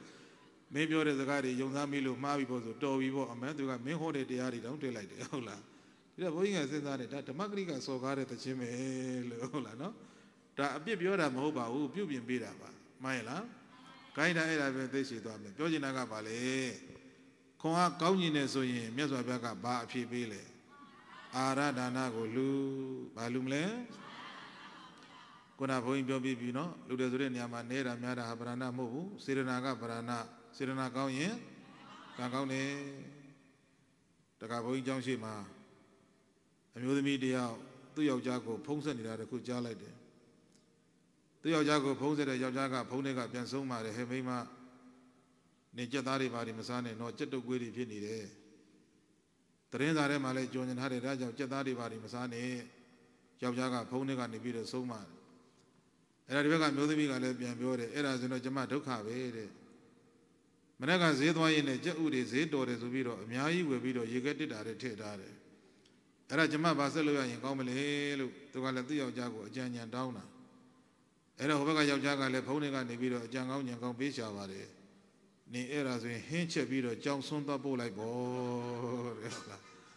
တော်တော်တရားတရားကောင်းတဲ့ပုဂ္ဂိုလ်ပဲနော်ဘုန်းကြီးနေကြက်တုပ်ကွေးဖြစ်မှကြက်သားစားရတယ်လို့ဖြစ်နေတယ်ဟုတ်လားအဲ့လိုတရားတရားမျိုးကြတော့အစဉ်ပြေပါမလားဘယ်ပြေမလဲသူကောင်းတဲ့တရားတရားမှမဟုတ်ပဲမှန်ရလားဒါကြောင့်ဘုန်းကြီးတို့ပြိဿဘောစတိုင်ကွန်အားကောင်းခြင်းရင်အာရဒါနလူပါဒီအမေနဲ့ပြေလေးခဏမှတ်ထားမယ်နော်။ ဂိုင်ဒုတိယမေကုံးလေးခတ်တော့သွားကြရအောင်။ဘောစတိုင်တပိတော်တို့ရုပ်ဆင်းလှခြင်းနေတဲ့ရုပ်ဆင်းလှအောင်ဘလို့ဒါနလူရရင်ကောင်းမလဲလို့မြတ်စွာဘုရားကိုလျှောက်ကြပြီ။ဘာဖြစ်လို့ဒီမေကုံးလျှောက်တယ်လဲဆိုတော့ခုနကသုတ္တမဓမ္မယုံထဲမှာတရားပွဲရှိတော့နန္ဒနာသမီးတွေရောက်လာကြတယ်။အဲ့ဒီနေ့ကနောက်ဆုံးရောက်လာတဲ့နတ်သမီးတယောက်ကအရှင်အနုရုဒ္ဓာရဲ့ညီမငယ်ရောဟိနီအမျိုးသမီးဘာအမျိုးသမီးလဲ အရှင်အနုရုဒ္ဓာရဲ့ညီမတွေထဲမှာအငယ်ဆုံးညီမလေးပေါ့ရောဟိနီအမျိုးသမီးနတ်ပြည်ရောက်သွားတဲ့အခါကျတော့သူ့ကိုရောဟိနီနတ်သမီးလို့ပဲဒီလိုခေါ်ကြတယ်အဲ့ဒီနတ်သမီးကတရားပွဲမမီမှဆိုလို့ချွေရန်တော်တွေအချိုးတော်တွေအချော့တော်တွေနဲ့သူကလည်းတရားပွဲလာတာအဲ့ဒီနေ့ကဂိမ်းမှာစောင့်နေတာဂိမ်းဆောင်နေတာ၃-၄ယောက်လောက်တော့ရှိတယ်ဒီနတ်သမီးဘလောက်လှတယ်မလှတော့မသိဘူးလေဘုန်းကြီးတို့ကစာထဲမှာပဲတွေ့ရတာ နတ်သားတယောက်ကအဲ့ဒီနတ်သမီးကိုကြည်ရင်ကြည်ရင်နဲ့မျက်လုံးအပြင်ကျွတ်ထွက်သွားတယ်တဲ့ဟုတ်လားပဇွန်မျက်လုံးလိုဖြစ်သွားတာနော်ဒါဘလောက်လှလဲဆိုတာကိုယ့်ဘာသာကိုပဲစဉ်းစားဖို့နောက်နတ်သားတယောက်ကလည်းပဲဟာတယ်လှတဲ့နတ်သမီးပဲဆိုပြီးတခါတည်းပြောရင်ပြောရင်နဲ့သူ့ပါဇက်ကိုပြန်ပိတ်လို့မရတော့ဘူးတဲ့နောက်နတ်သားတယောက်ကလည်းပဲဟာတယ်လှတဲ့နတ်သမီးပဲဆိုပြီးတခါတည်းကြည်ရင်ကြည်ရင်နဲ့ကြည့်လို့မဝတဲ့အခါကျတော့သောဝင်တိုက်မိတာနတ်သားတွေအဲ့ဒီလိုဖြစ်ကြတာ ဒါဘလောက်လှလဲဆိုတော့ဒါကိုယ့်ဘာသာကိုပဲစဉ်းစားဖို့နော်ဝိတို့ငယ်တုန်းကအရက်ထဲမှာကာလသားတွေပြောတဲ့စကားတစ်ခုကြားဘူးပါတယ်ပါတယ်လေမြင်လိုက်ရင်ဘဝင်ခိုက်သွားအောင်ဆိုတာလေမြင်လိုက်ရင်ဘဝင်ခိုက်သွားအောင်လေငေးလိုက်ရင်မေးခိုက်စစ်တိုက်လို့မရလောက်အောင်ဟုတ်လားအတန်များကြားလိုက်ရရင်နားထဲမှာပြားဆွဲပြီးတော့တရားလဲမောက်သလားထင်ရလောက်အောင်ခုလည်းအဲ့ဒီလောက်လှတယ်နဲ့တူပါတယ်ကြည်ရတာ အဲ့တော့တရားပွဲကျင့်ပါရင်နဲ့နတ်သားတွေနောက်လှည့်ကြည့်တော့ဟာဟောကောင်းနေဘလို့ဖြစ်နေတာတော့ကြည့်လိုက်တော့အေးတယောက်ကလည်းမျက်လုံးအပြင်ကျွတ်ထွက်နေတယ်တယောက်ကလည်းပါဇက်ပြန်ပိတ်လို့မရဘူးတယောက်ကလည်းဝင်တိုက်မိပြန်ပြီဟာဒီကောင်းနေဘလို့ဖြစ်နေတာတော့ကြည့်လိုက်တော့ဩလက်ဆက်သတ်တော့ဒီနတ်သမီးဒီလောက်လှလို့ဒီကောင်းနေဒီလိုဖြစ်နေတာပဲလို့သူတို့ချင်းချင်းသိလိုက်တယ်သိတဲ့ခါကျတော့မှချင်းချင်းတိုင်ပင်နေဟေးဒီနတ်သမီးကတော့ရုပ်စင်းသိလှတယ်ကွာ တို့လည်းပဲသူ့လည်းပဲရုပ်စင်းလှခြင်းနဲ့ရုပ်စင်းလှအောင်တို့ဘာလှူရရင်ကောင်းမလဲအချင်းချင်းတိုင်ပင်တဲ့အခါကျတော့အဖြေမထွက်လာတရားမင်းကြီးတောင်းမေးတော့လည်းတရားမင်းကြီးကမသိတော့ဒီမေကုဟာနောက်ဆုံးပဲရောက်လာဘုရားရှိပဲပြန်ရောက်လာအဲ့ဒါမြတ်စွာဘုရားကိုလျှောက်တယ်မြတ်စွာဘုရားဘောဇနတပည့်တော်တို့ရုပ်စင်းလှခြင်းနဲ့ရုပ်စင်းလှအောင်ဘလို့ဒါနလှူရရင်ကောင်းမလဲလို့မြတ်စွာဘုရားကိုလျှောက်ကြပြီဒါတော့မြတ်စွာဘုရားကဘာဖြေတော်မူလိုက်တုံးဆိုတော့ဝတ္တတော်ဟောတိဝဏတော် ဒေဝဗုဒ္ဓသာသိလိုရဲ့ဖြင့်မြစ်လာခဲ့ညာတကနတ္တာဝတ္တတော်အဝတ်သင်္ကန်းစရှိသည်ကိုလှူဒန်းတဲ့ပုဂ္ဂိုလ်သည်ဝဏတော်ဟောတိအစဉ်ကိုပေးလို့ရာရောက်ပေ၏ဣရိသောဘဂဝါသုံးလောကတုတ္တသဗ္ဗညုဘုရားရှင်ကိုရောမြတ်သည်ဣမံပညာဣမေကွန်းရဲ့အဖြေကိုလည်းပဲဗျာကရောတိစုံဆိုင်မဲ့ရှိ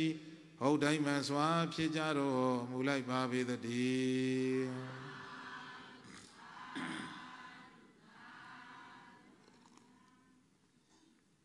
မြတ်စွာဘုရားရဲ့ဒုတိယအဖြေတစ်ခုထွက်လာပါပြီဘဝစတိုင်းဘဝစတိုင်းရုပ်စင်လှခြင်းနဲ့ဆိုရင်အဝတ်သင်္ကန်းကိုလူတဲ့ပြိတ္တိဘာလူမလဲဒါမြတ်စွာဘုရားကခြုံမိငုံမိအောင်ပြလိုက်တာနော်တန်ဃာတွေများနဲ့ပတ်သက်လာရင်ဆရာလေးများနဲ့ပတ်သက်လာရင်သင်္ကန်းဒါနတကြီးရွယ်ဦးတွေစည်ရင်နှံပါတဲ့ပုဂ္ဂိုလ်တွေနဲ့ပတ်သက်လာရင်အဝတ်ဒါန နောက်တကဇေဒီပထိုးတွေနဲ့ပတ်သက်လာရင်ရွှေသင်္ကန်းဒါနထုံးသင်္ကန်းဒါနဒါတွေအလုပ်ဟာပါလေအဝတ်သင်္ကန်းဒါနတွေကြီးပဲမှန်လားဒါကြောင့်မြတ်စွာဘုရားကအလုံးကိုခြုံမိငုံမိအောင်ဆိုပြီးတော့จิตသားတို့တဲ့ဘဝစတိုင်းဘဝစတိုင်းရုပ်စင်လှခြင်းနဲ့ဆိုရင်အဝတ်သင်္ကန်းကိုလူတဲ့ဘာလူမလဲဒါဘုန်းကြီးတို့ပြိဿပေါင်းတို့ကတို့အလုံးသိပါတယ်တန္တရာခီးကိုကုခတ်တဲ့နေရာမှာ ရုပ်စင်လှဖို့ဆိုတာလေပြိဿကြီးအမတန်ရေးကြည့်ပါတယ်အရေးမကြီးဘူးလားအမတန်ရေးကြည့်ပါတယ်တခြားမကြည့်နဲ့အခုဘုန်းကြီးပဲကြည့်ပေါ့ဘုန်းကြီးဆိုတာအလွန်ရုပ်ဆိုးတယ်ဒီဘဝတော့ရှိစီတော့ဘောနောက်ဘဝတော့သူများတဲ့တာအောင်တော့ကြိုးစားမှာပဲတလောက်ကဘုန်းကြီးเจ้าကိုသင်္ကကြီးတစ်ပါးရောက်လာရောက်လာပြီးတော့ဘုန်းကြီးမျက်နှာကိုစစ်စစ်ကြည့်ပြီးတော့သူကဘာပြောတယ်မှတ်တော့ဇဝနာယုတ်ကတဲ့ ကြမကောက်ပြောက်မရှာယုတ်တဲ့ပါတယ်လေကြမကောက်ပြောက်မရှာယုတ်တဲ့ကြရင်လေကောက်မဲ့လူမရှိဘူးတဲ့ပြောက်ရင်လေရှာမဲ့လူမရှိဘူးတဲ့တငယ်ချင်းတွေကတော့ဘုန်းကြီးလှတာပဲတင်စားနေကြဒီဘဝတော့ရှိစေတော့ဗောနောက်ဘဝတော့သူများတဲ့တာအောင်တော့ကြိုးစားရမှာပဲဟုတ်လားတတော့ကလည်းတငယ်ချင်းတစ်ပါးမတွေ့တာလည်းပဲ15နှစ်လောက်ကြာသွားတယ်ပြုံးကနေပြန်တွေ့တော့ဘုန်းကြီးတို့အားရဝမ်းသာပေါ့စုံဝိုင်းတစ်ဝိုင်းနဲ့တူတူစားကြ စွန်းစားရင်းနဲ့သူကြတော့ဘုန်းကြီးမျက်နှာကိုစစ်စစ်ကြည့်ပြီးတော့သူကဘာပြောတယ်မှတော့ဇဝနာယုတ်ကတဲ့ညသကောင်းရန်ချိန်မှာကပ္ပလီကျွဲစည်းတဲ့ယုတ်တဲ့ပါတယ်လေညသကောင်းရန်ချိန်မှာကပ္ပလီကျွဲစည်းတဲ့ယုတ်တဲ့ညဆိုတော့လေအမှောင်ပဲသကောင်းဆိုတော့လေအမှောင်ပဲကပ္ပလီကလည်းအမှောင်ပဲကျွဲရလဲတခုမှရစရာမရှိဒီဘဝတော့ရှိစီတော့ဗော နောက်ဘဝတော့သမ ्या တဲ့တာအောင်တော့ကြိုးစားရမှာပဲနော်တလကဘုန်းကြီးတို့ရွာတရားမှာသွားပြီးတော့တရားဟောတယ်ရွာထဲဝင်ယုံရှိသေးတယ်ကလေးတွေစော့နေတာတွေ့တယ်ကလေးတွေကဘုန်းကြီးတွေ့တော့ဗာပြောတုံးဆိုတော့ဟာတဲ့ဒီဘုန်းကြီးကရေလေမိုက်တာကွာတဲ့ဟာဒီဘုန်းကြီးကတအားမိုက်တာကွာတဲ့ကလေးတွေစော့ရင်းနဲ့ပြောနေကြတာရဲဘုန်းကြီးကလာပင့်တဲ့တခါကြီးကိုမေးတယ်တခါကြီးဟိုကလေးတွေကဘုန်းကြီးကိုမိုက်တယ်လို့ပြောနေတယ်အဲ့ဒါဘာပြောတာတုံးလို့မေးတော့တ ခါကြီးကလည်းလျှောက်ပြပါတယ်ဘာလို့မဟုတ်ပါဘူးခင်ဗျာတဲ့တပည့်တော်တို့ရွာဘက်မှာကြတော့မဲတာကိုမိုက်တယ်လို့ခေါ်တယ်ဗျာတဲ့ဒါကြောင့်ရှင်မြတ်ကမဲလို့ကလေးတွေကမိုက်တယ်လို့ပြောတာပါတဲ့ကြံ့ကြံ့ဖန်ဖန်မဲတာမြမိုက်တယ်ဖြစ်ရတယ်လို့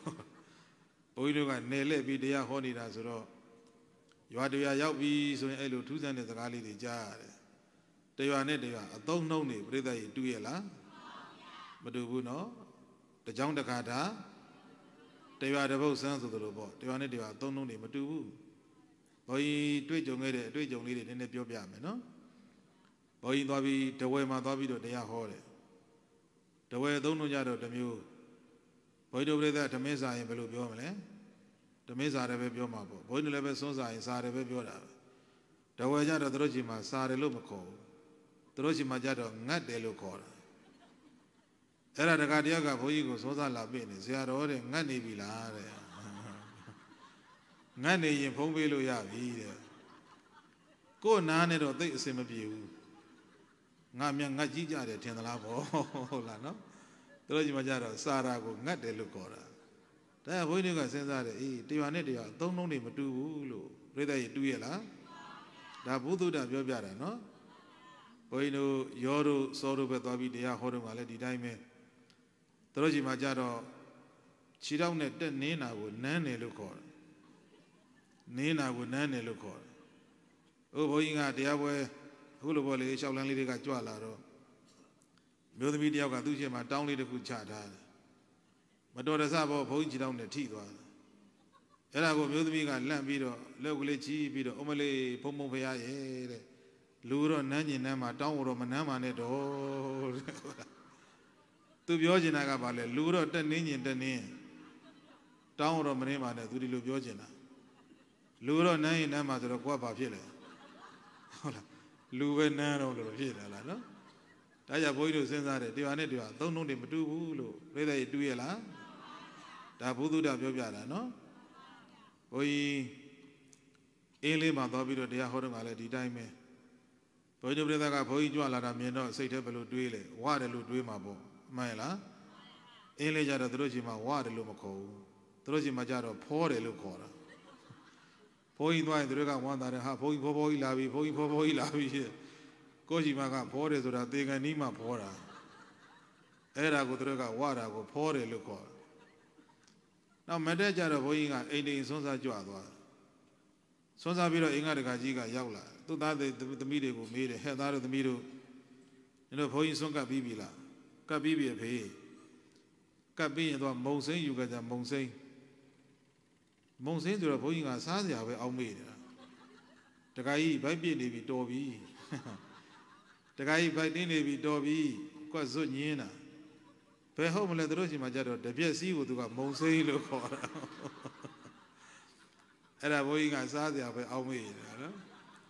ဒါကြောင့်ဘုန်းကြီးတို့စဉ်းစားတယ်တရားနဲ့တရားအသုံးနှုန်းတွေမတူဘူးလို့ပြည့်တဲ့ရတူရဲ့လား ဘုဒ္ဓတာပြောပြတာနော်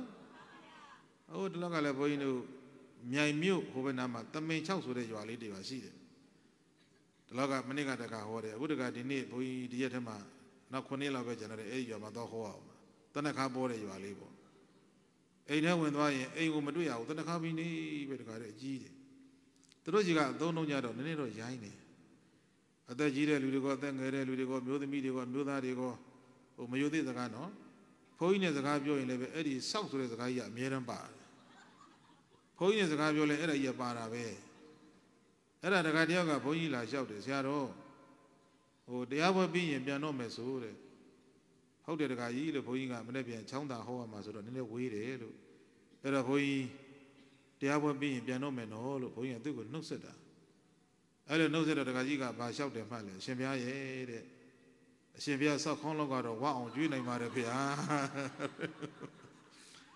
အရှင်ဘုရားတဝင်းလောက်တော့စိုးကနိုင်နေဆိုတော်ပါပြီသူကဘုန်းကြီးနဲ့စကားပြောလဲအဲ့ဒါကြီးလည်းပါသေးတာပဲဟုတ်လားနော်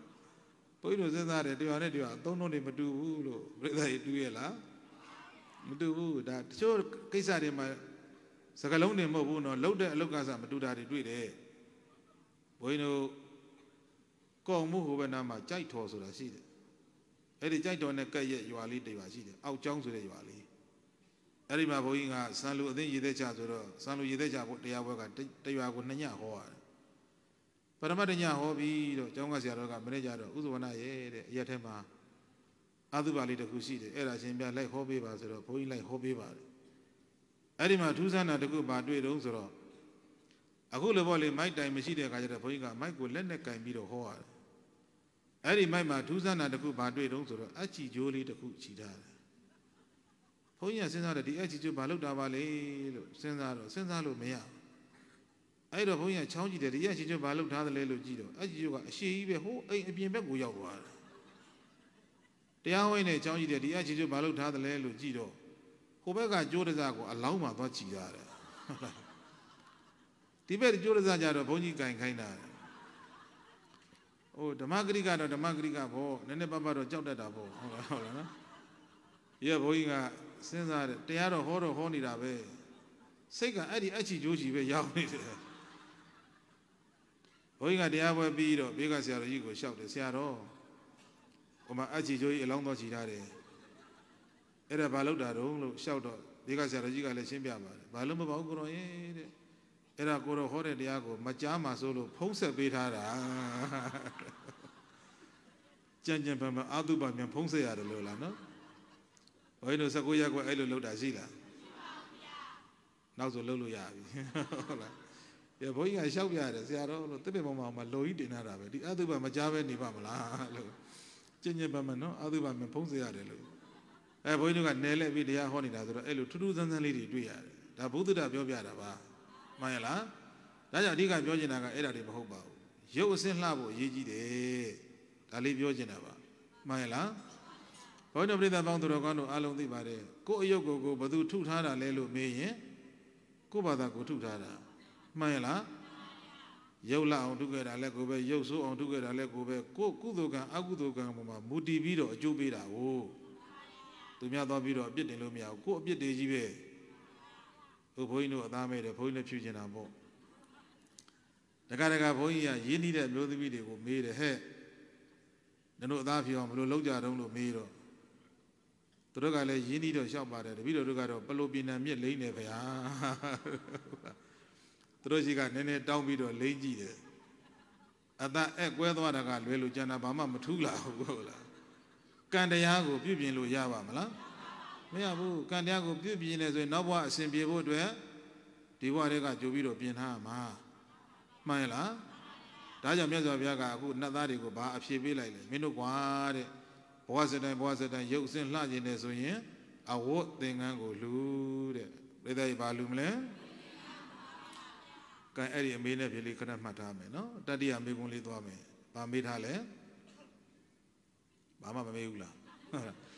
ဘဝစတိုင်းတပြည့်တော်တို့မျက်လုံးကောင်းကျင်နေတဲ့မျက်လုံးကောင်းအောင်ဘလို့ဒါနလှူရရင်ကောင်းမလဲလို့မြတ်စွာဘုရားကိုလျှောက်ကြပြီဘာဖြစ်လို့ဒီမေးခွန်းလျှောက်တယ်လဲဆိုတော့ဘုန်းကြီးတို့တာဝရိသာနတ်ပြည်မှာနတ်သားကြီးတယောက်ရှိပါတယ်နတ်သားရဲ့နာမည်သည်သူဗျံမနတ်သားတဲ့ဘာနတ်သားလဲသူဗျံမနတ်သားအဲ့ဒီသူဗျံမနတ်သားကနန္ဒဝန်ဥယျာဉ်ထဲမှာနတ်သမီးတစ်ထောင်နဲ့သူကကာမဂုဏ်စည်းစိမ်ခံစားတာ သူခံစားမှုခံစားလေးကတမျိုးပြိတ္တိဒီပိနတ်သားတွေလို့မဟုတ်ဘူးသူကနတ်သမီး900ကိုကြတော့ပန်းမေမော်တဲ့ပန်းခူးရင်နဲ့သချင်းဆိုပြီးတော့ကခိုင်းတယ်ကျန်တဲ့နတ်သမီး900ကိုကြတော့ပန်းမေအောက်မှာပန်းကောင်းရင်ပန်းသိရင်နဲ့သချင်းဆိုပြီးတော့ကခိုင်းတယ်သူကတမျိုးတော့တမျိုးလေးပဲဒီကနေ့ခေတ်စကားနဲ့ပြောရင်ဘယ်လိုပြောမလဲဆိုကြမယ်ပြောကြမယ်ပေါ့လေဟုတ်လားနော်အဲ့ဒီအစီအစဉ်နဲ့သူတို့လာကြတာပန်းမေအောက်မှာပန်းကောင်းရင်ပန်းသိရင်နဲ့သချင်းဆိုပြီးတော့ကခုံနေကြတဲ့နတ်သမီးတွေကလည်း သဲကြမယ်ချွဲကြမယ်ကဲကြမယ်ပေါ့လေအဲ့ဒီအစီအစဉ်နဲ့သူတို့လာကြတာအဲ့ဒီအစီအစဉ်ကျင်းပနေတုန်းရှိသေးတယ်ပန်းမေမော်တက်ပြီးတော့ပန်းခူးရင်နဲ့တချင်းဆိုပြီးတော့ကခုံနေရတဲ့နတ်သမီး900တပြိုင်နက်တည်းပြုံးနေဆိုအကုန်လုံးသေသွားတယ်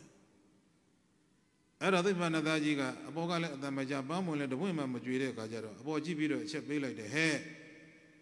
ဘောကနတ်သမီးတွေအတမကြပါလားလို့ကြည့်လိုက်တော့နတ်သမီး900တယောက်မှမရှိတော့ဘူး ဒီနတ်သမီးတွေဘယ်ရောက်ကုန်ပြီလဲလို့ကြည့်လိုက်တဲ့အခါကျတော့အကုန်လုံးသေပြီးတော့အဝီစီငဲကိုရောက်သွားပြီဆိုတာသူ့မျက်လုံးနဲ့ကြည့်တာမြင်ရတယ်တဲ့ပြိဿရဲ့မျက်လုံးမကောင်းဘူးလားအဝီစီငဲလှမ်းကြည့်တာတော့မှသူ့မျက်လုံးနဲ့ကြည့်တာမြင်ရတယ်တခါတခါသူ့မြတ်နတ်သားကြီးကအခုလိုထိုင်နေနေပြင်းနေဆိုရင်ငါအထက်ကနတ်သားနတ်သမီးတွေဘာတွေလုံနေကြလဲလို့သူကမော့ကြည့်တယ်ဘယ်လောက်ထိမျက်လုံးကောင်းတယ်လဲဆိုရင်ဘုံ30ဘုံထဲမှာထိတ်ဆုံးဖြစ်တဲ့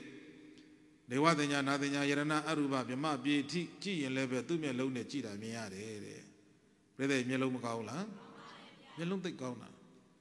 အဲ့တော့နတ်သားကြီးကစဉ်းစားတယ်ငါနဲ့တကွဒီကြံခဲ့တဲ့နတ်သမီး900ဘလို့အခြေအနေရှိသလဲလို့ကြည့်လိုက်တော့ဟာတို့လည်းပဲမကြခင်အကုန်သိပြီးတော့ဝီစီငယ်ရောက်တော့မှာပဲဆိုတော့ तू သိတယ်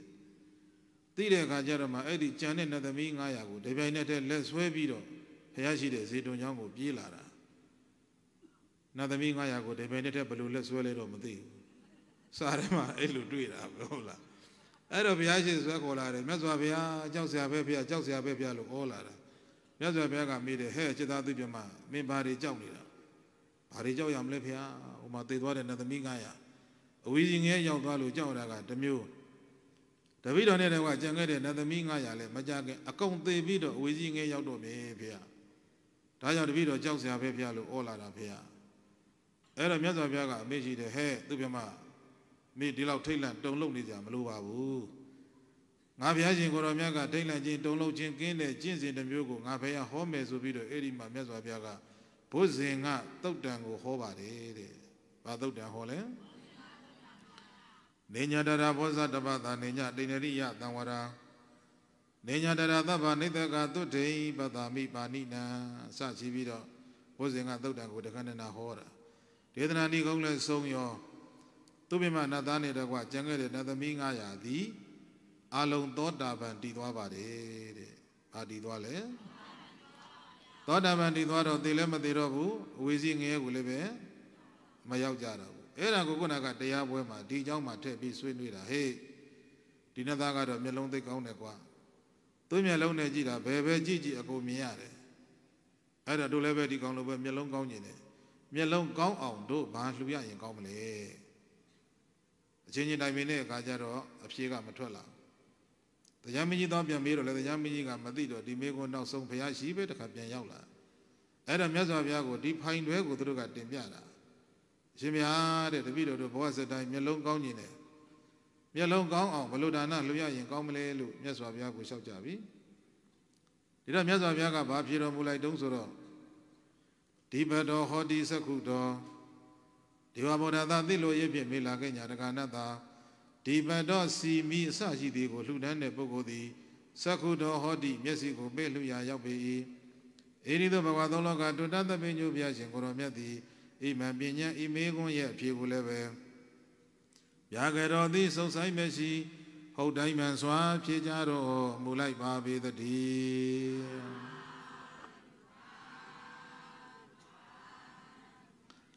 မြတ်စွာဘုရားရဲ့တတ္တိယအဖြစ်တစ်ခုထွက်လာပါပြီဘဝစတိုင်းဘဝစတိုင်းမျက်လုံးကောင်းကျင်နေဆိုရင်စီမိဒါနကိုလှူတဲ့ဘာလှူမလဲစီမိဒါနပါဠိလိုပြောရင်ဒီပဒါနပါတယ်လေဒါမှမဟုတ်ရင်ရှေ့ကပသတလုံးထပ်ထည့်လိုက်ဗတိပဒါနဒါစီမိဒါနပဲမှန်လားဒီနေ့အလုံးစုံတော်မျိုးတော်များသာသနာတော်မှာတင်ပေါ်ကြော်ကြတဲ့မထေသူမြတ်တစ်ပါးရှိခဲ့ဥပါတယ် အရှင်အနုရုဒ္ဓပြိဿဘယ်သူလဲအရှင်အနုရုဒ္ဓသည်ဒိဗ္ဗစက္ခုအဘိညာဉ်ရတယ်နတ်မျက်လုံးကိုလည်းပဲပိုင်ဆိုင်ထားတယ်အဲ့တော့အရှင်အနုရုဒ္ဓလည်းပဲသူ့မျက်လုံးနဲ့ကြည့်ရင်ဘယ်ပဲကြည့်ကြည့်သူလည်းပဲအကုန်မြင်ရတယ်အခုဘုန်းကြီးပလင်မော်ထိုင်းတယ်လို့ပေါ့ထိုင်းရင်းနဲ့ကြည့်လိုက်နောက်ဆုံးကုန်ကုန်ပြောမယ်နော်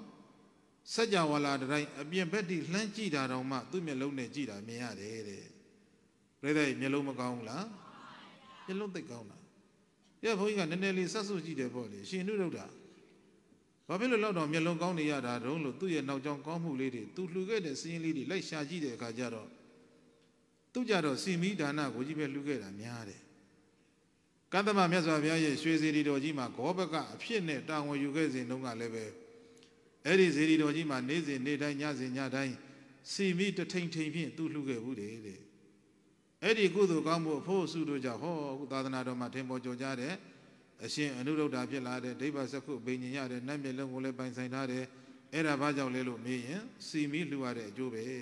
မှန်ရလားရခုနဘုန်းကြီးတို့ပြောပြီးပါပြီပါဠိလိုပြောရင်ဘယ်လိုပြောမလဲ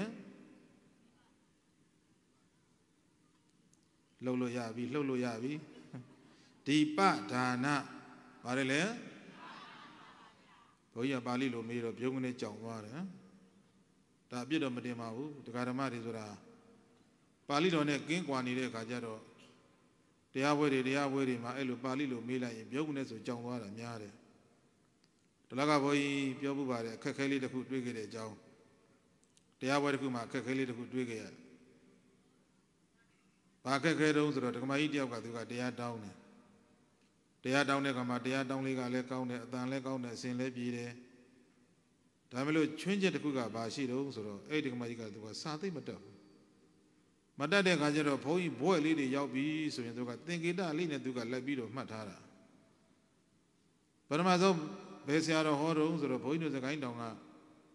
အရှင်ဒေဝိန္ဒလင်္ကာရဘိငွန်သဆိုတဲ့ဆရာတော်ကြီးတစ်ပါးတရားဟောတယ်အဲ့ဒီညမှာလည်းပဲတပည့်တရားတောင်းတယ်ပထမတော့အဆင်ပြေပါတယ် ပြိုင်စာမပေါ်နိုင်ငံကျော်တဲ့ဆရာတော်ဖရာရှိကတော့အစဉ်ကိုပြေးလို့နောက်ဆုံးဘုန်းကြီးဘွဲ့ရောက်တဲ့အခါကျမှဟောကြားတော်မူပါဥဒေဝရအရှင်သူမြတ်ဖရာဒေဝိဏလင်္ကာရဘိဝန္တနဲ့ဘာနဲ့မှားသွားလဲ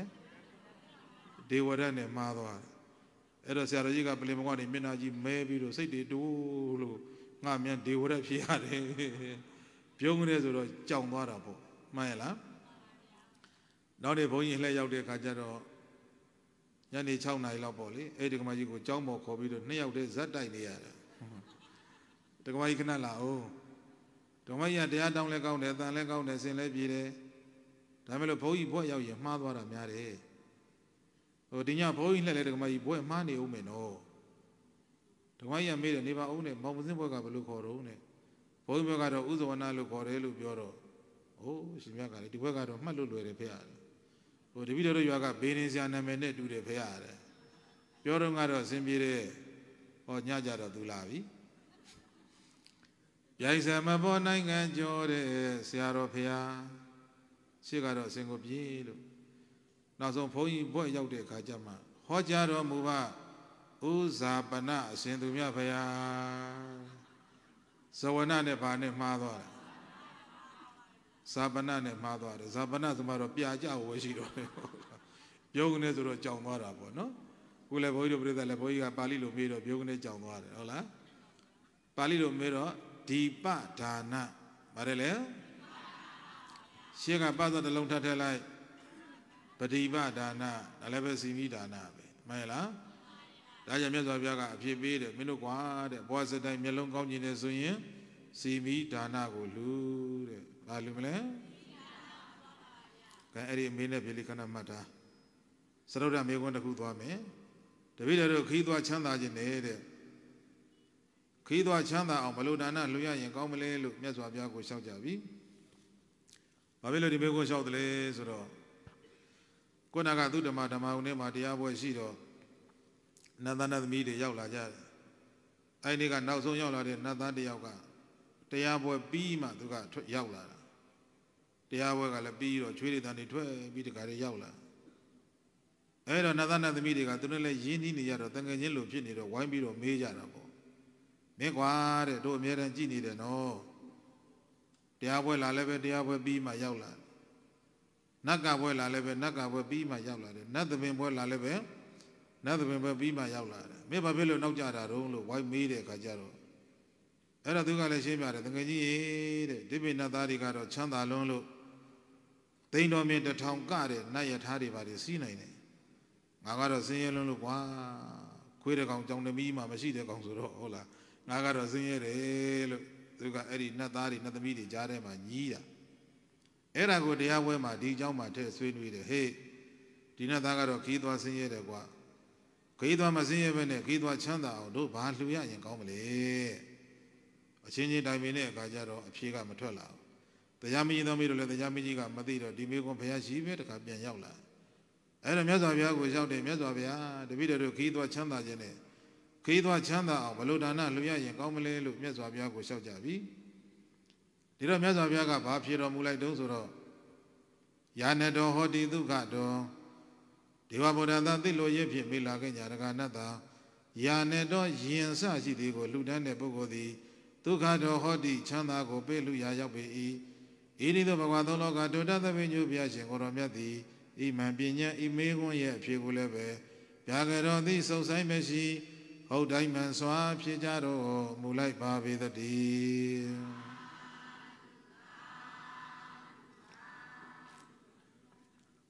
မြတ်စွာဘုရားရဲ့စတုထအဖြစ်တစ်ခုထွက်လာပါပြီ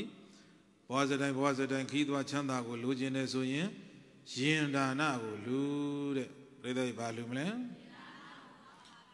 ဒီတော့ဘုန်းကြီးပြိဿကပြောမှာပေါ့ရှင်ဘုရားတပည့်တော်တို့ကားကြီးတော့ဘယ်လူနိုင်မလဲယထာကြီးတော့ဘယ်လူနိုင်မလဲလေရင်မြန်ကြီးတော့ဘယ်လူနိုင်မလဲလူနိုင်မှာမလားမလူနိုင်ဘူးဒါမှမဟုတ်ဆရာတော်တန်ဃာတော်တွေပဲကြွဆရာရှိတယ်တက်ကြီးရွယ်အိုတွေပဲသွားဆရာရှိတယ်စင်ရင်နံပါတ်တဲ့ပုံကိုယ်တွေပဲသွားဆရာရှိတယ်ကားလက်မှတ်ကလေးဖြစ်ဖြစ်ယထာလက်မှတ်ကလေးဖြစ်ဖြစ်ဖြတ်ပြီးတော့လှူလိုက်လဲပဲဒါလည်းပဲရင်ဒါနပါပဲမှန်ရလားကိုနာဘုန်းကြီးပြောသလိုကားကြီးလူနေမှာယထာလူမှလေမြင်ကြီးလူနေမှာမဟုတ်ပါဘူး အဲ့တော့ရှင်ဘုရားရဲ့တပည့်တော်တို့ဖဏကလေးလူခြင်းနဲ့ဘုရားဆိုတာဖဏလည်းပဲဒါရင်ဒါနတစ်မျိုးပဲမှန်ရလားဘုရားပရိသတ်ပေါင်းသူတော်ကောင်းတို့အားလုံးသိပါတယ်ပကတိခီးသွားတဲ့အခါမှာရင်ယထာမစည်းပဲနဲ့သွားရင်ဒီကကြီးအစဉ်ပြေပါမလားဘာဘာမှအစဉ်ပြေလဲရင်ပါမှအစဉ်ပြေတယ်မှန်ရလားအခုဘုန်းကြီးခုလမ်းကြောတွေပဲကြည်ပေါ့ဒီနေ့ကညကဆိုဘုန်းကြီးထိုင်းမှာသွားပြီးတော့တရားဟောတယ် ညနေ9နာရီခွဲကောင်တဲ့တခါပြန်လာတယ်အဲဒီကနေပြီးတော့လေငွေကနေကြောင်းပြန်ခြင်းမရှိတော့ဟောရွှေပြည်သာနဝရဈေးတခါမိအောင်တခါပြေးဟောပြီးတော့တခါမနေ့ကကြောင်းပြန်ရောက်ကြောင်းရောက်ပြီးတော့ခဏမေးပြီးတော့တခါဟိုးမနေ့ကကြုံပြောနေခင်းကလေးတရားပွဲဟောညလူကြီးတရားပွဲဟောပြီးတော့ပြန်ရောက်လာဒီနေ့တနေ့ကုန်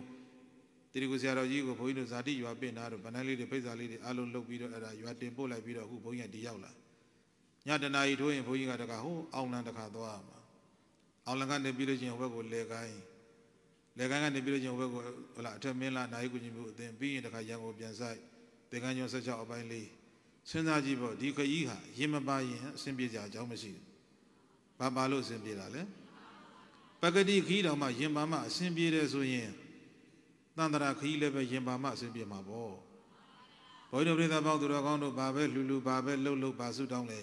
နိဗ္ဗာန်ကိုလိုချင်လို့ဆုတောင်းတယ်မှန်လား နိဗ္ဗာန်မြို့ကိုရောက်ဖို့ဆိုတာဟာလည်းပဲမဂ္ဂင်တိဟုသောရင်ရက်ထားကို စီးပြီးမှနိဗ္ဗာန်သွားတာဖြစ်ပါတယ်မှန်လားအဲ့တော့ယင်ဟာနိဗ္ဗာန်တိရေးမကြည့်ဘူးလားရေးကြည့်တယ်ဒါကြောင့်မြတ်စွာဘုရားကအဖြစ်ပေးပါတယ်မင်းတို့ခီးသွားချမ်းသာကိုလိုချင်သမျှဆိုရင်ရင်ဒါနလူပါတဲ့ဘာလူမလဲဘုရားကြီးကတနေ့ကတရားဝဲတွေအလုံးပြီးမိုးဥကြပြီဆိုရင်တရားဝဲတွေကပြီးပြီလေ လေသမားစကားနဲ့ပြောမယ်ဆိုရင်ဓမ္မဂရိကထုံထုံပိတ်သွားပြီပေါ့ဟုတ်လားနော်။ကိုင်အလုံးပြီးသွားပြီငါကားလေးလည်းပဲအားသွားပြီဘယ်မှသွားကြလည်းမရှိတော့အဲ့တော့ယောဂီဆောင်လေးစောင့်နေရင်းနဲ့မပြီးသေးတာနဲ့ကိုင်ကွာငါကားလေးရောင်းပြီးတော့မင်းတို့ယောဂီဆောင်ပြီးအောင်စောင့်လိုက်ကြကွာတရားစခန်းဖွင့်တဲ့အခါကျတော့အခက်အခဲဖြစ်လို့အဲ့ဒါကားလေးရောင်းပြီးတော့အဲ့ဒါယောဂီဆောင်စောင့်လိုက်တယ်။နောက်နေ့သုံးရက်လောက်ကြာတော့ဘုန်းကြီးတို့စံပြစေးအမေအိမ်ဒီရောက်ဝယ်ကြီးကရန်တကမာကြီးကဖုံးဆက်တယ်မောင်မစင်း တနေ့ပတ်လုံးပြေးလိုက်လွှားလိုက်နဲ့မတွေ့တာလည်းကြာပြီလေအိမ်ရောက်ပြီးတော့အိမ်ကြွပြီးဆွန်းလေးပါလေးဖုံးပေးအောင်မှာပေါ့မေတော်ကြီးလည်းသတိရတယ်ဆိုတော့အဲအဲ့ဒါဆိုမနေ့ပြန်လာခဲ့မယ်ဆိုပြီးတော့ဘုန်းကြီးကဦးစင်းတစ်ပါးခေါ်ပြီးတော့တစီလေးငှားပြီးတော့သွားတာအိမ်ရောက်တော့မေတော်ကြီးကဆင်းကြော်တယ်ဟဲ့ဘယ်လိုဖြစ်တာတော့နဲ့တစီကြီးနဲ့ပါလားတဲ့ဟုတ်တယ်မေတော်ကြီးလို့ကားလေးရောင်းပြီးတော့အဲ့ဒါဟုတ်လားယောဂီဆောင်ဆောက်လိုက်ပြီလို့ပြောတော့အဲ့ဒါသေယောက်ျားလမ်းခေါ်တယ်ဟဲ့တမ်းမောင်လာအောင်နဲ့မကြည့်နဲ့ဦးစင်းကတစီစီးပြီးတော့လာ အိမ်မှာလည်းပဲတို့ကားနှစ်စီးရှိနေတာတစ်စီးကပို့နေတာပဲလေတဲ့အဲ့တော့တို့ဦးစင်းလှူလိုက်မယ်တဲ့အဲ့တော့တို့လင်မယားနှစ်ယောက်တွတ်တွတ်တွတ်နဲ့9မိနစ်လောက်ပြောပြီးတော့ဟောမကြဘူးရေစက်ချလှူလိုက်တော့အခုဘာဖြစ်လဲ okay တဲ့ဆိုပြေတယ်လို့ပြောရမှာပေါ့ဟုတ်လားနော်ပြောချင်တာကဘာလဲယင်ဒါနပြောချင်တာပါမှန်ရလားဘုန်းကြီးတို့ကိုပိုင်ကားလေးမရှိခင်တုန်းကဆိုဟိုးပြည်ဘက်ကိုခဏခဏသွားပြီးတော့တရားဟောရဒါမနေ့ပြန်လဲအဲ့ဒီဘက်သွားမှာအဲ့ဒီပြည်ဘက်ကကားတွေကြတော့ကိုနဲ့ဘာသာမတူတဲ့ကားတွေများတယ် အဲ့ဒီကားတွေလက်မဖြတ်ရင်ဘုန်းကြီးနေဆိုဘရောမှရှိရမရဘူးနောက်ဆုံးပါပဲရဘယ်နှကဖြတ်လိုက်ဖြတ်လိုက်ဘရောမှရှိရမရဘူးနောက်ဆုံးပါပဲရအဲ့ဒါဒီလောက်ကဘုန်းကြီးကဘာလုပ်တုံးဆိုတော့ကျောင်းလာတဲ့အမျိုးသမီးတယောက်ကိုဖုံးဆက်ပြီးတော့လက်မဖြတ်ခိုင်းရတယ်ဒီဘက်ကဖုံးဆက်တော့ဘက်ကပြန်မေးတယ်နာမည်ဘယ်လိုခေါ်တော့နဲ့အမျိုးသမီးကလည်းဘုန်းကြီးပြန်လှည့်မေးတယ်ဆရာတော်ဟိုနာမည်မေးတယ်ဘယ်လိုပြောလိုက်ရမလဲတဲ့အေးနေမတ်တိတာလို့တာပြောလိုက်ဟာ ကျမနာမည်မတ်တိတာပါဆိုတော့မတ်တိတာဆိုတော့ခုံနံပါတ်1ရတယ်တဲ့ဘုန်းကြီးဘွဲနဲ့ဖြတ်တာဘယ်တော့မှရှိရမရဘူးမတ်တိတာနာမည်နဲ့ဖြတ်မှခုံနံပါတ်1ရတယ်အဲ့ဒါဘုန်းကြီးကကားထွက်ကန်ဒီတော့ကာဘိနာသွားထိုင်ဆောက်တယ်ဘုန်းကြီးလည်းထဲမှာတာကြီးကအိတ်ကလေးတိတ်ပါကားစီဘက်ကခီးတယ်တက်လို့ရပြီလို့ခေါ်လိုက်ရင်လွတ်တယ်မှာဆိုလို့တယောက်စီခေါ်တာစားပကလေးကံပြီးတော့ဟိုးနောက်ကစခေါ်တယ်ခုနံပါတ်60ဘယ်သူတက်လို့ရပြီ ခုနံပါတ်59ဘယ်သူတက်လို့ရပြီခုနံပါတ်58ဘယ်သူတက်လို့ရပြီဟိုးနောက်ကနေစင်တိုင်းခေါ်လာတာရှေ့ဆုံးကြတော့ဘုန်းကြီးလှည့်ရောက်လာရောခုနံပါတ်1မတ်တိတာတက်လို့ရပြီတဲ့အဲ့ဒါဘုန်းကြီးကအိတ်ကလေးဆွဲပြီးတော့တက်သွားတော့ကားစပြားကဘုန်းကြီးကိုပြန်ဆွဲချတယ်အာရှင်မြခဏနေဦးနဲ့ဒါကိုတော့ခုံမဟုတ်ဘူးနော်တဲ့ဒါမတ်တိတာခုံနဲ့ ဒီတော့ဘုန်းကြီးကပြောပြတယ်အေးမတ်တိတာဆိုတာငါပဲกว่าလို့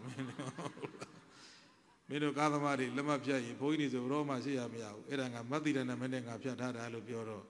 ကားစပြားကဘုန်းကြီးကိုသိမကြည့်ဘူးကားတိုင်းမှာကလည်းဘုန်းကြီးကိုသိမကြည့်တဲ့အခါကျတော့ကားမောင်းတဲ့အခါမှာရှေ့မှာဂျိုင်းတွေပါတယ်တွေ့ရင်ရှောင်ပြီးမမောင်းဘူးသူကဘုန်းကြီးကိုရွဲ့သလိုစောင်းသလိုလှုပ်နေတာဂျိုင်းတွေပါတယ်တွေ့ရင်ဝုံတိုင်းဆိုတခါတည်းချထည့်တာ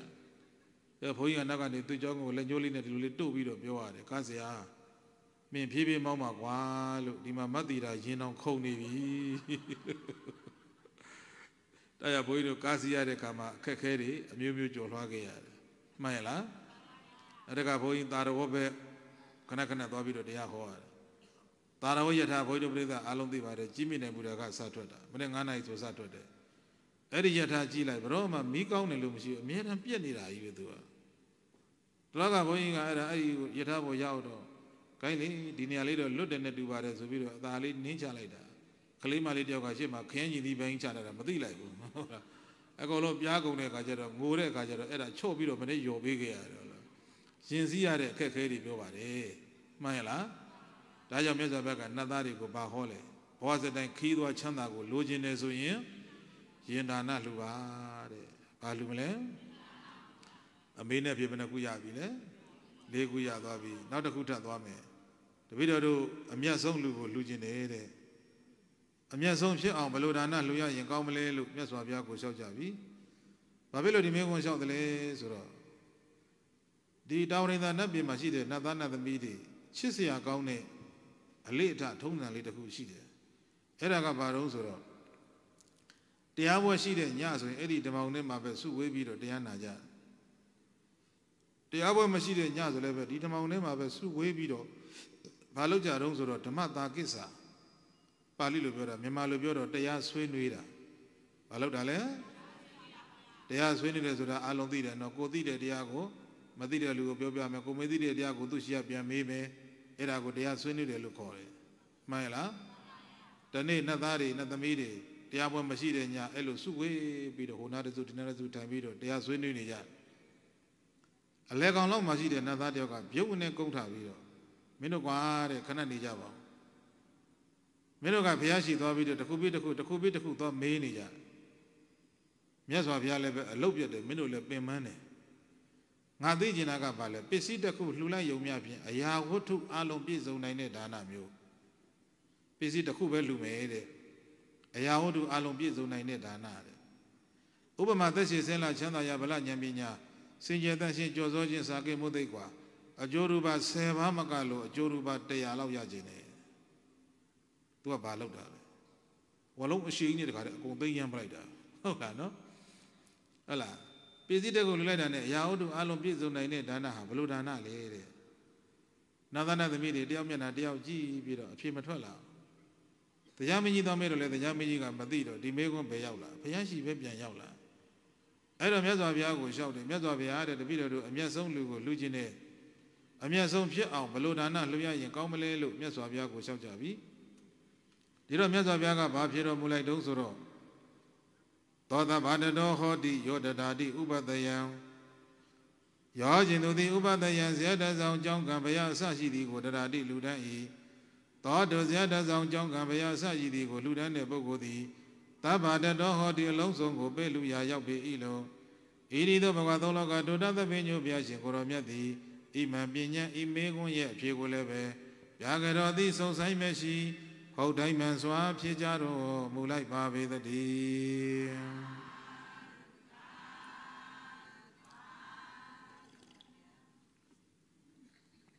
မြတ်စွာဘုရားရဲ့ပင်စမအဖြစ်တစ်ခုထွက်လာပါပြီ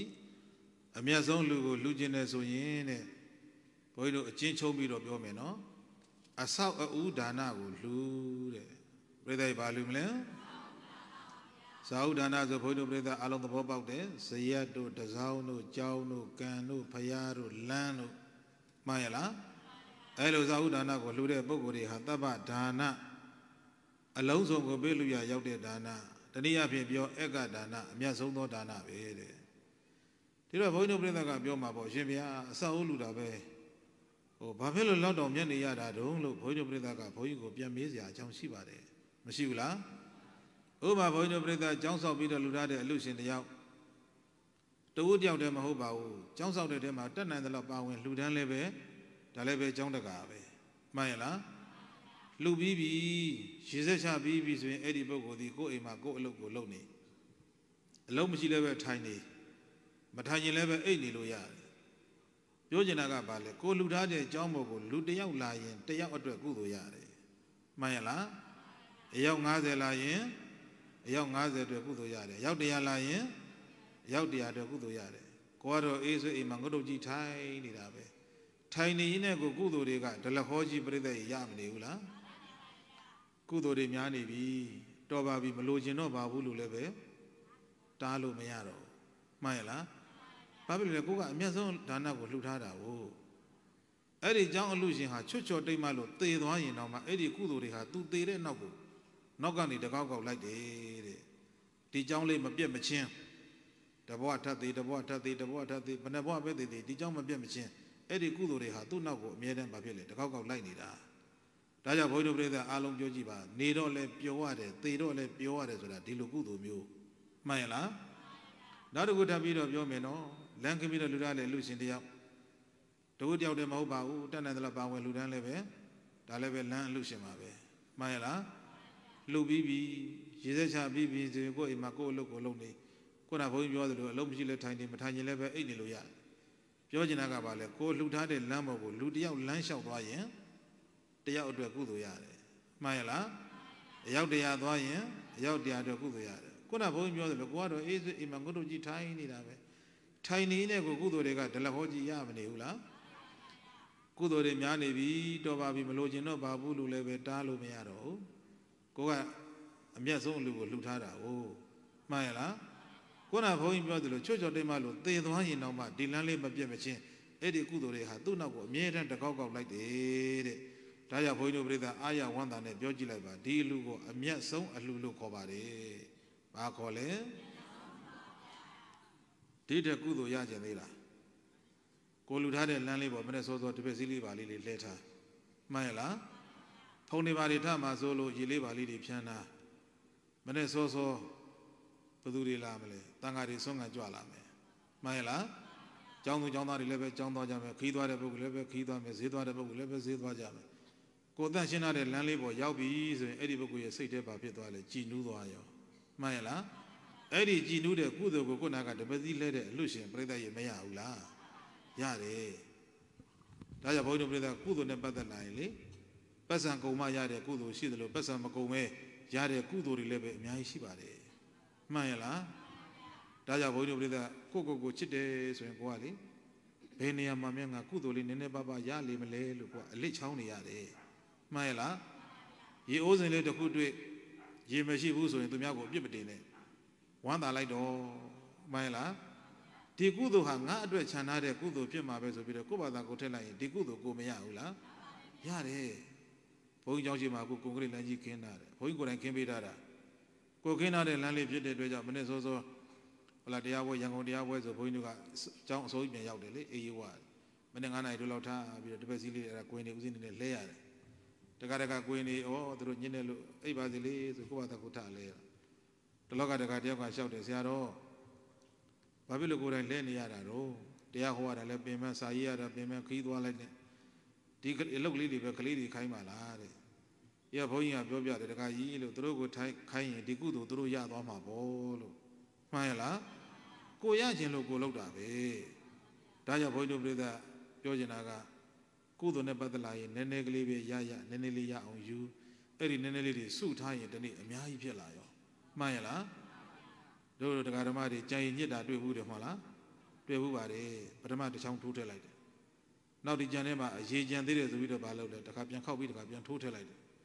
နောက်ကြည့်လိုက်တော့ဒီထဲမှာနည်းနည်းကြံသေးတယ်တခါထပ်ခောက်ပြီးတခါထပ်ထိုးထည့်လိုက်တယ်သူဘာလုပ်နေတာလဲဒီရေဒီကြံထဲမှာရှိတဲ့ရေကိုမကုန်းကုန်းအောင်ဖြည့်ညစ်ပြီးတော့ယူနေတာမှန်ရလားကုသိုလ်နဲ့ပတ်သက်လာရင်လည်းပဲဘယ်နေရာမှာပဲနည်းနည်းပါးပါးရလိမ့်မလဲလို့အဲ့လိုဖြည့်ညစ်ပြီးတော့ယူတတ်ရတယ်ကုသိုလ်လုပ်တာပဲသူများအတွက်လားကိုယ့်အတွက်လားကိုယ့်ကိုယ်ကိုချစ်တယ်ဆိုရင်ကုသိုလ်အများတန်းလုပ်နေရမှာပဲမှန်ရလား တန္တရာခရီးသွားကြအောင်ပဲဘယ်မှာဆုံးလို့ဆုံးမလဲမသိကြသေးဘူးမှန်ရလားတရားတွေဘာတွေအားထုတ်ထားလို့ကိုယ်နှလုံးသားထဲမှာတရားတွေပြည့်ကန်နီးလို့အရိမိတယဘုရားသာသနာနဲ့တွေ့လို့ဘုရားကတပါဒလောက်ဟောလိုက်လို့ဘုရားနဲ့တူတူနိဗ္ဗာန်ဝင်သွားရင်တော့အစဉ်ပြေတယ်မှန်ရလားနောင်ပုတ်မဲ့ဘုရားတဇူပဲကြံတော့တယ်ဘယ်နှဇူကြံသေးလဲအဲ့ဒီတဇူမှမမှီလိုက်ဘူးဆိုရင်ဘုန်းကြီးတို့ကအလုံးသောစီတော်မျိုးတော်များနောက်မမျော်လင့်နေတော့အမိုက်တိုက်ကြီးတဲ့ရောက်သွားပြီမှန်ရလား တယောက်နဲ့တယောက်နဲ့တတ်စားတဲ့ဘဝတွေရောက်ကြတော့မယ်ကို့အသားကိုပြီးတော့ပြန်ကြိုက်စားတဲ့အခြေအနေတွေတဖြည်းဖြည်းနဲ့ရောက်လာတော့မယ်မှန်ရလားဒါကြောင့်ဘာပဲဖြစ်ဖြစ်တဇူပဲကြံတော့တာဖြစ်တဲ့အတွက်ကြောင့်ကုသိုလ်လေးတွေကိုမရရအောင်ကြိုးစားပြီးတော့ပြုမှန်ရလားဘုရားဆရာတော်ကြီးပြောသလိုဝိမု ക്തി ယုဂခေတ်ကိုရောက်နေပြီဖြစ်တဲ့အတွက်ကြောင့်ဝိပဿနာလုပ်ငန်းလေးတွေလုပ်ထားကိုယ်နှလုံးသားထဲမှာတရားတွေပြည့်လူပြည့်ကင်နေဖြစ်နေပြီဆိုခုနဘုန်းကြီးပြောသလိုအရိမေတ္တရာမြတ်စွာဘုရားကနည်းနည်းလေးခေါ်လိုက်တာနဲ့ဟောအလိုလိုပါဖြစ်လေပြည့်သွားရောမှန်ရလား ဒါကြောင့်ဘုန်းကြီးတို့ပြတဲ့ကိုယ့်ကိုယ်ကိုချစ်တယ်ဆိုရင်ကုသိုလ်မှန်သမျှအမြဲတမ်းမလုပ်နေရမယ်လုပ်နေရမယ်မှန်ရလားဘုန်းကြီးတို့ကျေးဇူးတော်ရှင်လက်ရီဆရာတော်ဘုရားကြီးကလည်းပြောပါတယ်ကုသိုလ်မလုပ်တဲ့နေ့မရှိပါသေးနဲ့တဲ့ပန်းကလေးတစ်ပွင့်ပဲဖြစ်ဖြစ်ရေကလေးတစ်ခွက်ပဲဖြစ်ဖြစ်ကြံကလေးတစ်ချိုးပဲဖြစ်ဖြစ်ကုန်းကလေးတစ်ရိုးပဲဖြစ်ဖြစ်မရရအောင်ကုသိုလ်ကောင်းမှုကိုကြိုးစားပြီးတော့ပြုပါလို့မလဲဆရာတော်ဘုရားကြီးကလည်းလက်ရီဆရာတော်ဘုရားကြီးကအဲ့လိုမှားထားတာရှိပါတယ်။ကိုင်းထားအဲ့ဒါပြောသိရှိသွားမယ်နော်။ ပြောချင်တာကဘာလဲအမြတ်ဆုံးလူကိုလှူခြင်းရင်အစဥဒါနလှူပါပြိဿိဘာလှူမလဲမနေ့ကဒီနေ့ဘုန်းကြီးအကြောင်းမှာယောဂီသုံးတက်ဆောင်ကြီးစောင့်တယ်လေတရားစခန်းဆိုလို့ချင်းယောဂီတွေကများတော့ဘုန်းကြီးအိတ်တဲ့အခန်းထဲမှာလည်းအဲ့ဒါအဲ့ဒါဒုံလဘ၄၅ပါးလောက်တန်းစီထားတယ်ဟိုကွန်ပျူတာခန်းလေးထဲမှာလည်းပဲနှစ်ပါးလောက်ရောက်နှစ်ပါးလောက်ထည့်ထားတယ်အဲ့ဒါဘုန်းကြီးကကိုင်းကွာအဲ့ဒီနောက်ကမိဖို့ဆောင်ကြီးဖြစ်လိုက်တော့ကွာမိဖို့ဆောင်ကြီးလည်းဆွေးနေတယ်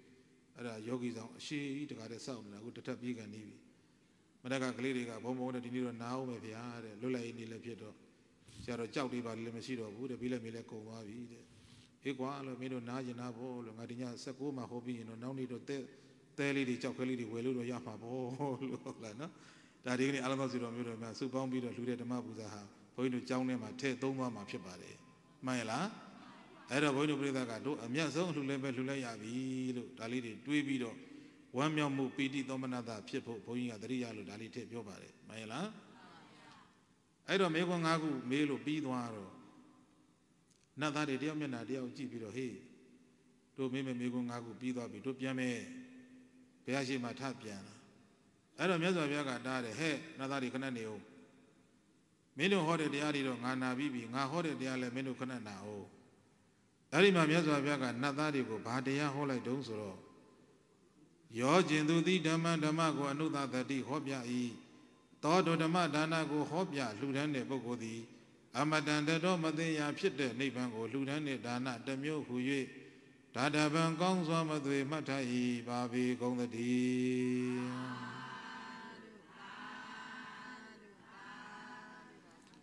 မြတ်စွာဘုရားကနတ်သားတွေကိုပြိဿရေဘာတရားဟောလိုက်လဲ ဓမ္မဒါနကိုလှူဒန်းတဲ့ပုဂ္ဂိုလ်သည်နိဗ္ဗာန်လူကိုလှူတဲ့ပုဂ္ဂိုလ်တွေပဲဆိုတော့ဒီနေ့အာရသောစေတော်မျိုးတော်များလမ်းသူလမ်းသားမိသားစုတွေဟလာဆွမ်းအောင်ဘွဲနေအပြင်စင်ကျင်းပတဲ့အရကအာဇိနိကအဖွဲတွေကအားလုံးဒီကနေ့စုပေါင်းပြီးတော့လှူလိုက်တဲ့ဓမ္မပူဇာပွဲကြီးဟာပြိဿရေဘယ်ရောက်သွားလဲနိဗ္ဗာန်ဘယ်ရောက်သွားလဲဒီတဲ့ရှင်းအောင်ပြောထိတ်ဆုံးရောက်သွားပြန်ရောမှန်ရလားဒါကြောင့်မြတ်စွာဘုရားကဟောလိုက်ပါတယ်မင်းတို့ကွာတဲ့နိဗ္ဗာန်လှူကိုလှူခြင်းနဲ့ဆိုရင် ဓမ္မဒါနလှူပါတဲ့အဲ့ဒီဒါနမှာတက်လိုက်ရင်အလုံးကောင်းမှုဘယ်နှမျိုးရသွားလဲပြိဿရေဘယ်နှမျိုးရသွားလဲမမရောက်ပြန်မေးမယ်နော်ဘဝစတဲ့ခွန်အားကောင်းအောင်ပါလူမလဲရုပ်စင်းလာအောင်ပါလူမလဲမျက်လုံးကောင်းအောင်ပါလူမလဲခီးသွားချမ်းသာအောင်ပါလူမလဲအမျက်ဆုံးဖြစ်အောင်ပါလူမလဲနိဗ္ဗာန်အလူဖြစ်အောင်ပါလူမလဲ ဓမ္မဒါနလူမေဒါဆိုဘုရားတို့ပြိဿဘာလူရင်ဘာရမယ်ဆိုတာအလုံးသိသွားပြီမှန်ရလားဒါကြောင့်အလူတစ်ခုလှုပ်တယ်ဆိုတဲ့နေရာမှာသိပြီးလှူတာနဲ့မသိပဲလှူတာနဲ့ပြိဿကြီးတူးရဲ့လားအေးသိပြီးလှူတော့ပို့ပြီးတော့ကျေးဇူးများတာဗောမှန်ရလားဒါကြောင့်ဘုန်းကြီးတို့ပြိဿကိုဘုန်းကြီးဟောတဲ့တရားနာမည်ပါတယ်လေကောင်းမှု6မျိုးတရားဘာတရားပါလဲဒီနေ့အလုံးသောဆိုတော်မျိုးတော်များကိုဘုန်းကြီးတို့ တရားပွဲတိုင်းတရားပွဲတိုင်းဆုံးမနေကြဒါသနာစကားလေးတစ်ခုပြောချင်ပါတယ်ဒါအိမ်ပြန်လက်ဆောင်ပေါ့ဟုတ်လားဒါလေးတော့ပါအောင်ယူသွားလိုက်ပါတရားရတာတွေ့သွားရင်တခြားအရသာမေ့သွားမှာပါလို့ပါတယ်လေနောက်တစ်ခေါက်ပြောကြည့်ရအောင်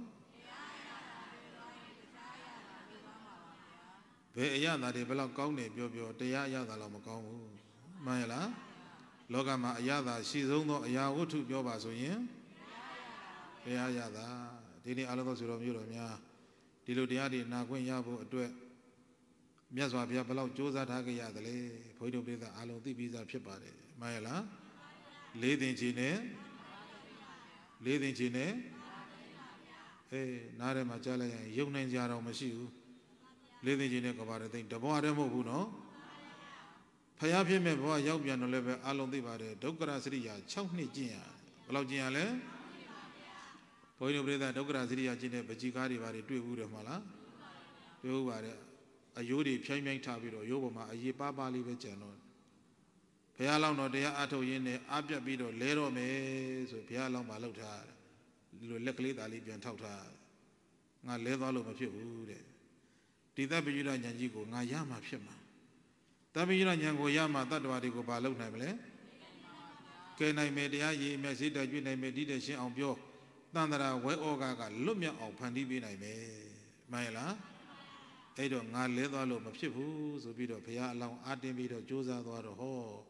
6နှစ်ပြည့်တဲ့နေ့တပ်ပိညုဒဉာဏ်ကြီးကိုရမသွားဘူးလားတပ်ပိညုဒဉာဏ်ကြီးကိုရသွားလို့ဒီနေ့အားလုံးသောဆိုတော်မျိုးတော်များဒီလိုတရားတွေနာခွင့်ရတယ်ဆိုတာဒီလွယ်လွယ်ကူကူနဲ့ရခဲ့တာဟုတ်ရဲ့လား မဟုတ်ဘူးဘဝပေါင်းများစွာအသက်တွေသွေးတွေချွေးတွေရင်းနှီးပြီးမှရခဲ့တဲ့တရားတွေဖြစ်တဲ့အတွက်ကြောင့်ဂိုင်းဘုန်းကြီးတို့ပြိဿဒီရတာကိုဘယ်ရတာနဲ့လဲမလဲဘယ်ရတာနဲ့လဲမလဲဘယ်ရတာနဲ့မှမလဲနိုင်ဘူးဒါကြောင့်ခုနဘုန်းကြီးပြောပြီးပြီတရားရတာတွေ့သွားရင်တခြားရတာမေ့သွားမှာပါလို့မှန်ရလားဒီနေ့အလုံးစုံဆိုတော်မျိုးတော်များတရားပွဲမှာတရားနာမှတရားနာတာမဟုတ်ပါဘူး ခေတ်ကာလအနေအချင်းကြည့်မယ်ဆိုရင်အခုလူတိုင်းလူတိုင်းလက်ထဲမှာဟန်းဆက်ကလေးတွေရှိတယ်မရှိဘူးလားအဲ့ဒီဟန်းဆက်တမှာလေတခြားဖေတော့မောင်တော့တွေဘာမှမထည့်နဲ့အမေတိတရားလေးတွေထည့်တာနံပါတ်1ဘာထည့်မလဲကျေးဇူးတော်ရှင်အေကမပန္တိတာမဂ္ဂုဆရာတော်ကြီးရဲ့တရားလေးတွေထည့်တာဆရာတော်ကြီးရဲ့တရားအပုတ်ရ900ကျော်ဖိုးကစ်လောက်ဆိုရင်အကုန်ဆန့်တယ်သီးသန့်တရားနာဖို့အချိန်ပေးကြမလိုဘူးမနေ့စောစောမိသားစုဓမင်းစားမယ် ဒီမှာခုံဝမ်းလေးပေါ်မှာလိုဟန်းသက်ကလေးဖွင့်ပြီးတော့ဒါလေးချတာဓမင်းစားလို့ပြီးလဲပြီးသွားရောဟောတရားလေးတစ်ပုဒ်ဆုံးသွားရောသီးသန့်အချိန်ပေးစရာလိုသေးလားမလိုဘူးနော်အခုမနေ့စောစောအေးတဲ့ယာသီလေးဆိုတော့ကျမ်းမာကြီးကလမ်းလျှောက်ထွက်မယ်အဲ့ထဲမှာဟန်းဆက်ကလေးတိုးတိုးလေးဖွင့်ပြီးတော့ထည့်သွားကိုတယောက်ကြားရင်တော်ပြီလမ်းလျှောက်လို့အိမ်လည်းပြန်လည်းပြန်ကောဟောတရားလေးတစ်ပုဒ်ဆုံးသွားရောသီးသန့်အချိန်ပေးစရာလိုသေးလားမလိုဘူးညဘုရားရှိခိုးပြီးပြီ မေတ္တာလည်းပဲပို့ပြီးပြီတတ္တဝါတွေကိုလည်းအမြတ်တမ်းပေးဝေပြီးပြီကိုင်းငါအိတ်တော့မယ်ခေါင်းပြီးနားမှာဟန်းဆက်ကလေးဖွင့်ပြီးတော့ချတာတရားနာရင်နဲ့အိပ်ပျော်သွားလည်းပဲတရားဆုံးသွားရင်သူ့ဘာသာသူအလိုလိုပိတ်သွားလိမ့်မယ်မှန်ရဲ့လားအဲ့လိုတရားလေးတွေနာရင်နဲ့အိပ်ပျော်သွားတဲ့အခါကျတော့စဉ်းစားဖို့မကောင်းတဲ့အိမ်မက်တွေဘာတွေမဲ့ပါမလားတရားနာရင်နဲ့အိပ်ပျော်သွားတာကိုကောင်းတဲ့အိမ်မက်ပဲမဲ့မှာပေါ့မှန်ရဲ့လား နောက်တစ်ခုစဉ်းစားကြည့်လိုက်ပြန်တော့ကိုယ်ခန္ဓာကိုယ်မှာစောင့်နေတဲ့ကိုယ်ဆောင်နဲ့ရှိတယ်ရှိဘူးလားအိမ်ကိုစောင့်နေတဲ့အိမ်ဆောင်နဲ့ရှိတယ်ခြံဝင်းကိုစောင့်နေတဲ့ခြံဆောင်နဲ့ရှိတယ်အဲ့ဒီနတ်တွေကလည်းအော်ကြည်စားသူတရားကိုလေးဖွင့်ပေးလို့ငါနာရတာကျေးဇူးများလိုက်တာသူကကိုယ်ကိုဘာလုပ်မလဲသေသေးချာချာစောင့်ရှောက်မှာပေါ့မှန်ရလားဂိုင်းမဟုတ်ကိုဆရာတော်ကြီးရဲ့တရားတွေတော့အချိန်ကြီးထက်ထက်နာလို့ဝါပြီဖြစ်ချင်းဖြစ်မလိုက်တော့နောက်တကကျေးဇူးတော်ရှင်ဧကမပန္တိတာမာသီဆရာတော်ကြီးရဲ့တရားလေးတွေထည့်ထား ပြီးရင်တကဆွမ်းလုံးဆရာတော်ကြီးရဲ့တရားလေးတွေထည့်ပြီးရင်ဝေဘူးဆရာတော်ကြီးရဲ့တရားလေးတွေထည့်ပြီးရင်ကတိဝိုင်ဆရာတော်ကြီးရဲ့တရားလေးတွေထည့်ပြီးရင်သိင်္ဂူဆရာတော်ကြီးရဲ့တရားလေးတွေထည့်ပြီးရင်လေဒီဆရာတော်ဘုရားကြီးရဲ့တရားလေးတွေထည့်ဝိပဿနာတရားတွေနာလို့ဝါပြီဆိုတဲ့အခါကျတော့မှယခုလက်ရှိပါကျုပ်ဆရာတော်ကြီးတို့တီတကူဆရာတော်ကြီးတို့ကိုကြိုက်နှစ်သက်တဲ့ဓမ္မဂရိကတွေတရားလေးတွေထည့်ထားပြီးတော့ဘုန်းကြီးတို့ပြိဿအားလုံးစဉ်းစားလို့ရပြီအဲ့လိုတရားလေးတွေနာလို့နားထဲမှာတရားတွေပြည့်နေပြီဆိုရင် ဒီကိုယ်နားလေးကိုပြန်ကြည့်လိုက်ရင်ကြက်တရေမရှိသွားဘူးလားပြိဿရေကြက်တရေမရှိဘူးလားဘာဖြစ်လို့ကြက်တရေရှိတာလဲတရားနာထားလို့သို့မဟုတ်နားထဲမှာတရားတွေပြည့်နေလို့ကြက်တည်ရှိတာမှန်ရလားမေတော်ကြီးတွေတို့ညီမတွေ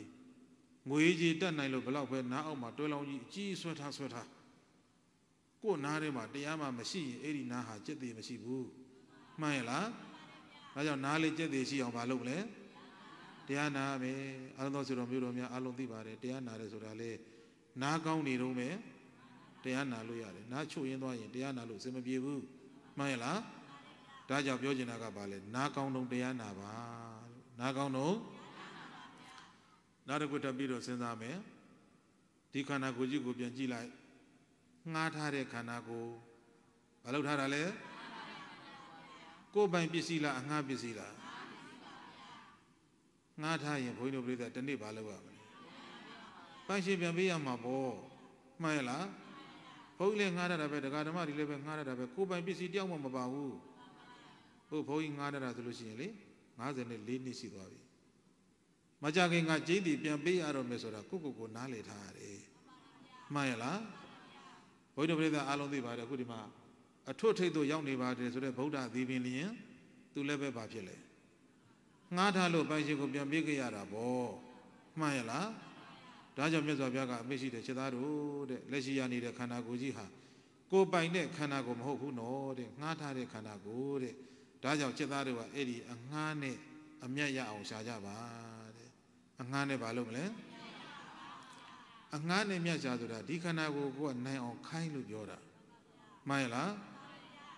ဘုရားဆရာအဖေဆရာတော်ဘုရားကြီးပြောသလိုပဲဝိမု ക്തി ယုဂခေတ်ကိုရောက်နေပြီ ဝိပဿနာတွန်းကားတဲ့ခေတ်ကိုရောက်နေပြီဝိပဿနာလို့မလုပ်လို့မရဘူးမှန်ရလားကိုကမအားတဲ့ပုဂ္ဂိုလ်ဖြစ်တဲ့အတွက်ကြောင့်အဲ့တော့မယ်ဆိုရင်ခြံအောင်ထဲမှာကုသုံးငိမ်ချပြီးတော့အာစိဏကံဖြစ်နေပေါ့မှန်ရလား10မိနစ်လောက်လေးပဲဖြစ်ဖြစ်တရားထိုင်ဟောငါဒီနေ့တော့အချိန်နည်းနည်းရသေးတယ်15မိနစ်လောက်ထိုင်တဖြည်းဖြည်းနဲ့ဘာဖြစ်လဲတရားလေးတွေရလာတာပေါ့မှန်ရလားတို့ဒကာကြီးတွေဒကာမကြီးတွေအလုံးသိတယ်တရားအထုတ်တယ်ဆိုတာလည်းပဲကြမ်းမာနေတဲ့အချိန်ပဲ တရားအထုတ်လို့ကောင်းတယ်ကြမ်းမာကြီးချွတ်တက်သွားရင်အဆင်မပြေဘူးပလင်ဘောကဆရာတော်ကနေပြီးတော့ဆက်ဝိုင်းကြီးထောက်ပြီးဒကာဓမ္မတွေဖြစ်ပျက်ကိုရှုနော်ဖြစ်ပျက်ကိုရှုနော်လို့ဘလောက်ပဲဖြစ်ပျက်ရှုခိုင်းရှုခိုင်းဟောကိုယ်ဝေဒနာကခံစားနေရတာနဲ့ပဲဖြစ်ပျက်ကိုကောင်းကောင်းမရှုနိုင်မှန်လားဒါကြောင့်ပြောချင်တာကဘာလဲကြမ်းမာနေတော့တရားအထုတ်ပါလို့ကြမ်းမာနေတော့နောက်တစ်ခုနည်းနည်းလေးစဉ်းစားကြည့်ရအောင်ခန္ဓာကိုယ်မှာတွေ့ကနေတဲ့ဒီမျက်စိလေးလည်းပဲကြည့်မျက်စိလည်းသိရင်လကားပြည့်ရပါ ငှားထားပြီးရင်သူလည်းပဲတန်းအောင်ခိုင်းတချို့ကပြောမှာပေါ့ရှင်ပြမျက်လုံးမလို့လို့ခိုင်းမလဲဖျားဟောတဲ့စာတွေကြည့်ပြီးတော့ဖတ်ခိုင်းပေါ့မှားရလားဘုန်းတော်ပြိဿအားလုံးသိတယ်စာဖတ်တယ်ဆိုတာလည်းပဲမျက်စိကောင်းတော့မဲ့စာဖတ်လို့ရတယ်မျက်စိချို့တဲ့သွားရင်စာဖတ်လို့အဆင်မပြေဘူးဒါကြောင့်ဘုန်းတော်ပြိဿကိုပြောချင်တာကမျက်စိကောင်းတော့စာဖတ်ပါလို့မျက်စိကောင်းတော့နောက်တစ်ခုလောက်စဉ်းစားပြီးရင်တော်ပါပြီဒီကတကူလုံးလျှောက်ပြောနေလို့မဖြစ်ဘူးဟုတ်လားနော် တွေ့ကနေတဲ့ဒီပါဇက်လေးလည်းပဲကြည့်ဟုတ်လားပါဇက်လည်းသိရင်မလုပ်မလဲအလကားပြရမယ်မသိငသူလည်းပဲခိုင်းဟာရှင်ပြပါဇက်ဘယ်လိုလုပ်ခိုင်းမလဲဟိုတနေ့ကထိုင်းတရားဝဲသွားတော့ကလေးတယောက်ကပလင်မော်တက်ခံတိလျှောက်တယ်ဆရာတော်ပါဠိတွေသိမရွတ်နဲ့တော့တဲ့တပည့်တော်တို့ကနားလေတာမဟုတ်ဘူးတဲ့နားလဲလဲမလဲလဲပါဠိတော်ဆိုတာဘာပြောတာလဲမြတ်စွာဘုရားရဲ့ရွှေနှုတ်တော်ကထွက်တဲ့ပါဠိမှန်ရလားဖယားပါဇက်ကထွက်တဲ့ပါဠိကိုကိုယ်ပါဇက်နဲ့ရွတ်နေရင်ဒီပါဇက်တန်ဖိုးရှိတာပေါ့ နောက်ဆုံးဒီပါဇက်နဲ့ဘာပဲပြောပြောပြိတ္တကြီးအောက်မြင်တာပေါ့မှန်ရလားတို့တရားဓမ္မဒီအလုံးပဋ္ဌာန်း24ပစ္စည်းလူတိုင်းရတယ်မရဘူးလားပေကြီးစတဲ့တော့အကုန်မရခြင်းနေပါစေမေတ္တာတော့လူတိုင်းရတယ်မရဘူးလားပရိစ္ဆပရိစ္ဆသမုပ္ပါနဲ့ပတ်သက်လို့အနုလုံပฏิလုံပฏิပါဠိတွေလည်းပဲလူတိုင်းရတယ်ဒါကြောင့်တို့အေတော်ကြီးတွေတို့ညီမတွေမနဲ့စောစောပါလို့မလဲဓမင်းချက်မယ်နော်ဓမင်းချက်လို့ဓမင်းရင်ငှဲ့လို့ရပြီဆိုရင်လက်ခုလေးကပြီးတော့ဓမင်းရင်ငှဲ့ စဉ်းစားဖို့ငါလက်ကတော့အလုတ်လုံနေပြီဗဇက်ကြည့်လိုက်တော့အလုတ်မရှိဘူးမှန်ရလားအဲ့တော့ငါဗဇက်လေးခိုင်းအောင်ပါပဲဆိုပြီးတော့ဓမင်းရင်ငှဲ့နေနေလည်းပဲဟေတုပစ္စယောအာရမဏပစ္စယောအဓိပတိပစ္စယောအနန္တပစ္စယောဒါလေးတွေရွတ်နေတော့ဘာဖြစ်လဲတန်ဖိုးရှိတာပေါ့မှန်ရလားရေချိုးလို့ကြီးတွန်းနေရင်တော့မှလက်ကကြီးတွန်းနေပြီမဲ့လို့ပါဇက်ကအလုံးမရှိတော့မေတ္တာတော်လေးပဲဖြစ်ဖြစ်ရွတ်နေအန္တရာယ်ကင်းတာပေါ့ ဘုန်းကြီးနေရွတ်မှအန္တရာယ်ကင်းတာမဟုတ်ပါဘူးကိုကိုကိုမေတ္တာတော်လေးရွတ်နေလည်းပဲမေတ္တာပို့နေရင်တမာတေဝနှကောင်းနှမြတ်တွေကကိုယ်ဆောက်ရှောက်မှာပေါ့ဘုန်းကြီးနေရွတ်တာကြီးပဲအာမကိုနဲ့ကိုကိုကိုလည်းကိုဘာသာကိုလည်းရွတ်လို့ရတယ်မှန်ရလားဘုန်းကြီးတို့ဘုရားဆရာတော်ကြီးပြိဿဆက်ဝိုင်းနေပါတွေတွေ့ဘူးတယ်နော်ဘုန်းကြီးတို့ကြတော့အဲ့လိုမဟုတ်ကြောင်းပါလေချိတ်ထားတရင်နိုးလည်းပဲထားကြည့်စဝိုင်းကိုလက်ထက်မှာမျက်လုံးထဲမှာမြင်နေမှတရားဟောလို့လွယ်တာမှန်ရလား ဆရာတော်ကြီးကဘယ်နေရာလေးမှာအနီလေးနဲ့မြားလေးပြထားလဲအစိမ့်လေးနဲ့မြားလေးပြထားတာဘယ်နေရာလေးမှာလဲတစ်ကွက်ထဲမှာဘာတွေရှိလဲနှစ်ကွက်ထဲမှာဘာတွေရှိလဲမျက်လုံးနဲ့မြင်နေတဲ့အခါကျတော့မှသူများကိုဟောတဲ့အခါကျတော့တက်ကနေတက်ကနေဖြစ်ရတာမှန်ရလားဒါကြောင့်ဘုန်းကြီးတို့ပြိဿလည်းပဲအလုံးသိပါတယ်ဒီစက်ဝိုင်းကြီးထဲမှာအင်္ဂါ12ပါးရှိတယ်ဘယ်နှပါးလဲစက်ဝိုင်းကြီးကိုလှည့်ကြည့်လိုက်ဖို့မလဲသွားဘူးလားအဲ့ဒီလေတာကိုဒီကနေ့အလုံးသောဆွေတော်မျိုးတော်များကတန်တရာလေတယ်လို့ခေါ်တာမှန်လား အဝိဇ္ဇာကစသရမရဏအဆုံးနောက်ဘဝတစ်ခါပြန်ရောက်အဝိဇ္ဇာကစသရမရဏအဆုံးအင်္ဂါ12ပါးလေပတ်နေတာကိုအဲ့ဒါကိုတန်တရာလေတယ်လို့ခေါ်တယ်မှန်လားဒါဘုန်းကြီးတို့ကဒါအကျေတဝင့်ပြောတာအချင်းချုံးပြီးတော့တစ်ခါဖြတ်ပြောလိုက်ရင်ပါနဲ့ပါပဲရှိလေယုံနဲ့နယ်လည်းပဲရှိတယ်မှန်လားယုံနာနှစ်ရက်တလက်ဆက်လေပတ်နေတာကိုလည်းပဲတန်တရားလို့ခေါ်တာပဲအဲ့ဒါဒီနေ့အာလုံးသောဆွေတော်မျိုးတို့များနဲ့ဘုန်းကြီးတို့တွေတန်တရာက3မျိုးရှိတယ်ဘယ်နှမျိုးလဲ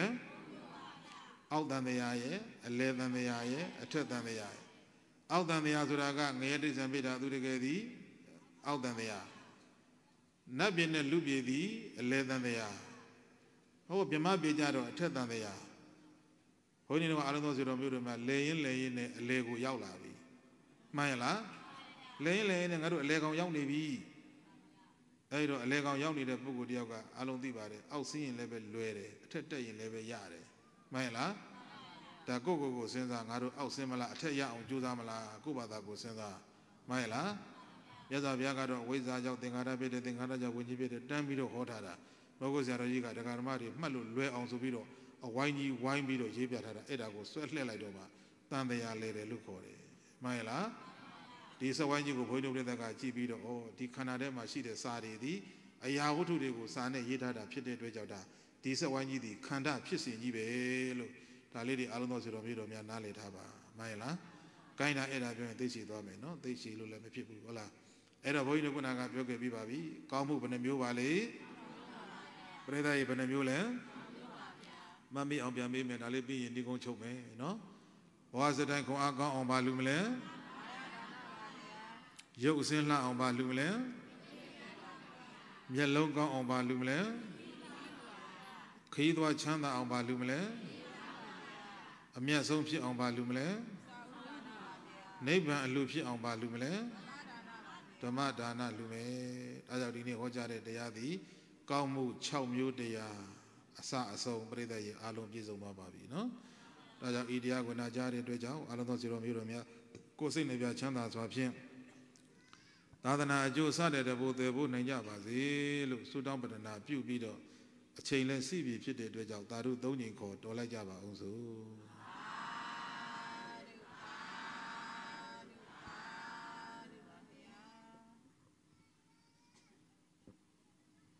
ခန္ဓာစီစဉ်လေးရသာသနာပြုနယ်ဓမ္မဂရိကအရှင်သဝနာဇာယင်ကြီးဆရာတော်ခြေသူမြတ်အားခုနပူဇာဓမ္မပူဇာနဝကမ္မထုတော်ငွေမြတ်ဆက်ကလှူဒန်းပူဇော်မှာဖြစ်ပါတယ်ရှင်ဗျာ ဆရာတော်ဘုရားကိုသာကပ္ပိယကာရကဖြင့်ဥအောင်ကြီးမှလက်ခံပေးပါရန်လေးစားစွာဖြင့်ဗန္ဒအပ်ပါတယ်အဲတော့အာသိဏကမ္မတိဓမ္မပူဇာထုတော်ငွေ10သိန်းကျခုနှစ်ရသားသမီးတရားနာပရိသတ်များပေါင်းစုကောင်းမှုဓမ္မပူဇာထုတော်ငွေ9သိန်း9000 2900ကျနှစ်ရပေါင်း15သိန်း9000 2900ကျအားတရားပွဲသင်တော်ကြီးကော်မီဥက္ကရာကြီးဦးကြည်ဝင်းမှ ပူဇာဆက်ကလူတန်းပူဇော်ပေးပါရန်လေးစားစွာဖြင့်ပန်ကြပါရယ်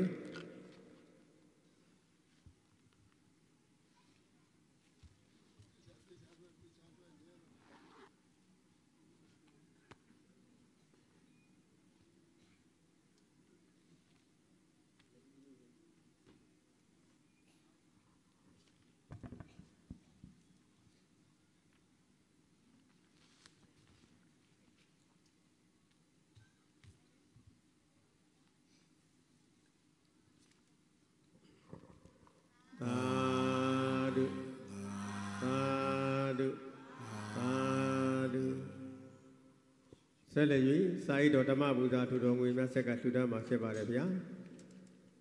ကွယ်တော်သူဦးအေးကိုအားကြည်စု၍ဒေါခင်ဂျိုမိသားစုဓမ္မဘူဇာထူတော်ငွေ9000ကျဆက်ကထူတမ်းပူဇော်ပေးပါရန်ပန်ကြပါတယ်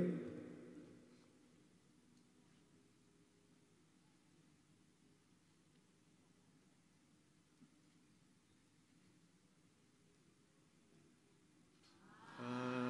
ဓုသာဓုသာဓု ဆက်လက်၍ဒေါ်ရင်ရင်မိသားစုမြတ်ဤနန္ဒလမ်းမှဓမ္မဗုဒ္ဓထူတော်ငွေ9000ကျဆက်ကထူတော်ပူဇော်ပေးပါရန်ပန်ကြပါတယ်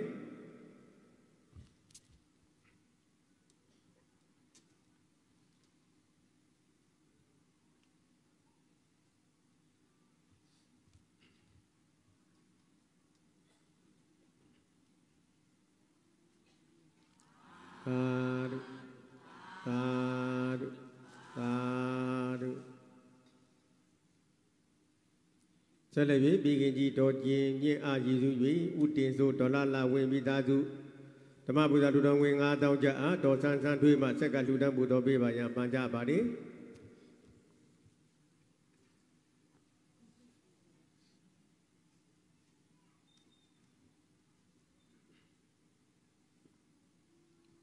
သာဓုသာဓုသာဓုမိခင်ကြီး တော်တင်ထွေးအားအမှုထားပြီးမဝင်းသူတွေမဖြူဖြူဝင်မိသားစုမြတ်ဤနန္ဒာလတ္တမဘုဒ္ဓတူတော်ငွေ9000ကျပ်ဆက်ကထူထမ်းဘုတော်ပေးပါရမှန်ကြပါလေ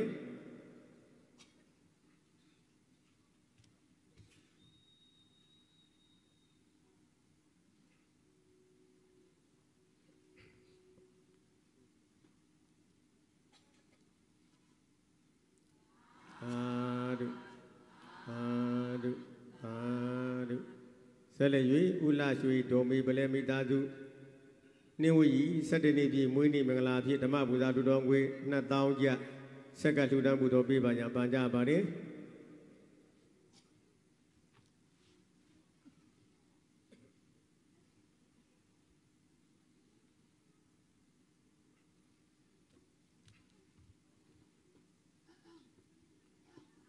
သာဓုသာဓုသာဓု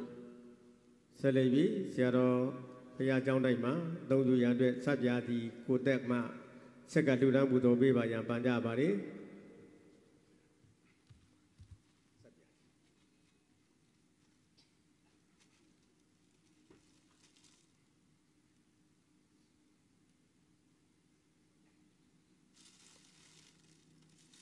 သာဓုသာဓုသာဓုယနေ့ညစ ရုဒ္ဓညာကျမ်းအောင်ပွဲနေ့တွင်ဆရာတော်ခြေသူများအားဓမ္မဗုဒ္ဓတုတော်ကို18သိန်း9000 2900ကျပ်အားဝမ်းမြောက်ကြီးညိုဝေယဆက်ကလှူဒါန်းနိုင်ပါတယ်ဗျာယနေ့အာဇိနကံဓမ္မဗုဒ္ဓတပင်၌လေးရတာကာလမှာဓမ္မဗုဒ္ဓအထုတော်ငွေများဆရာတော်လေးပါအလှူဒါန်းတဲ့အခါမှာပထမနေ့ ဒေါက်တာအရှင်ဝေပုံလဆရာတော်ရှိသူများအာဓမ္မဗုဒ္ဓထုတော်ငွေ15သိန်း9800ကျပ်ဒုတိယနေ့တီတကူဂတိကဆရာတော်ရှင်သူများအာဓမ္မဗုဒ္ဓထုတော်ငွေ14သိန်း7500ကျပ်တတိယညာကျမ်းအရှင်ဝိသုဒမင်္ဂလာပြုခွင့်ဆရာတော်ရှင်သူများအား16သိန်း2200 2000 16သိန်း22,500ကျယနေ့၄ရက်တလ2020စိုင်းနေဆရာတော်ခြေသူများအား18သိန်း92,900ကျ လင်းညတာကာလမှာဓမ္မပူဇာထူထငွေစုစုပေါင်းမှာ64သိန်း51,200ကျဆက်ကလှူဒါန်းနိုင်ပါတယ်ဗျာတို့ပါပြီဓမ္မပွေသူတော်သင်ပေါင်းတို့မှာဝမ်းမြောက်ဝမ်းသာအားဖြင့်ပရဏအောင်စုသာဓုအနုမောဒနာသုံးချိန်ခေါ်ဆိုပေးကြပါရန်လေးစားစွာဖြင့်ပန်ကြားအပ်ပါတယ်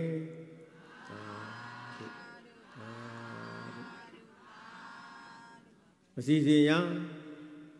ဖယားဒါယကဥမှုတုဖယားဒါယိကမတော်မြတ်တန်း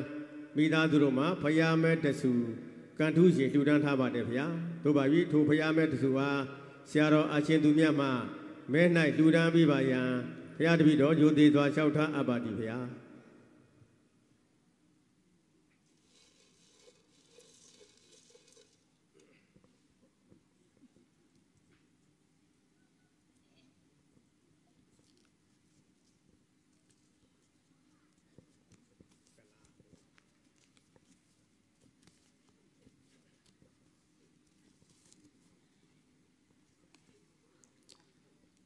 မဲနံပါတ်134ဖြစ်ပါတယ်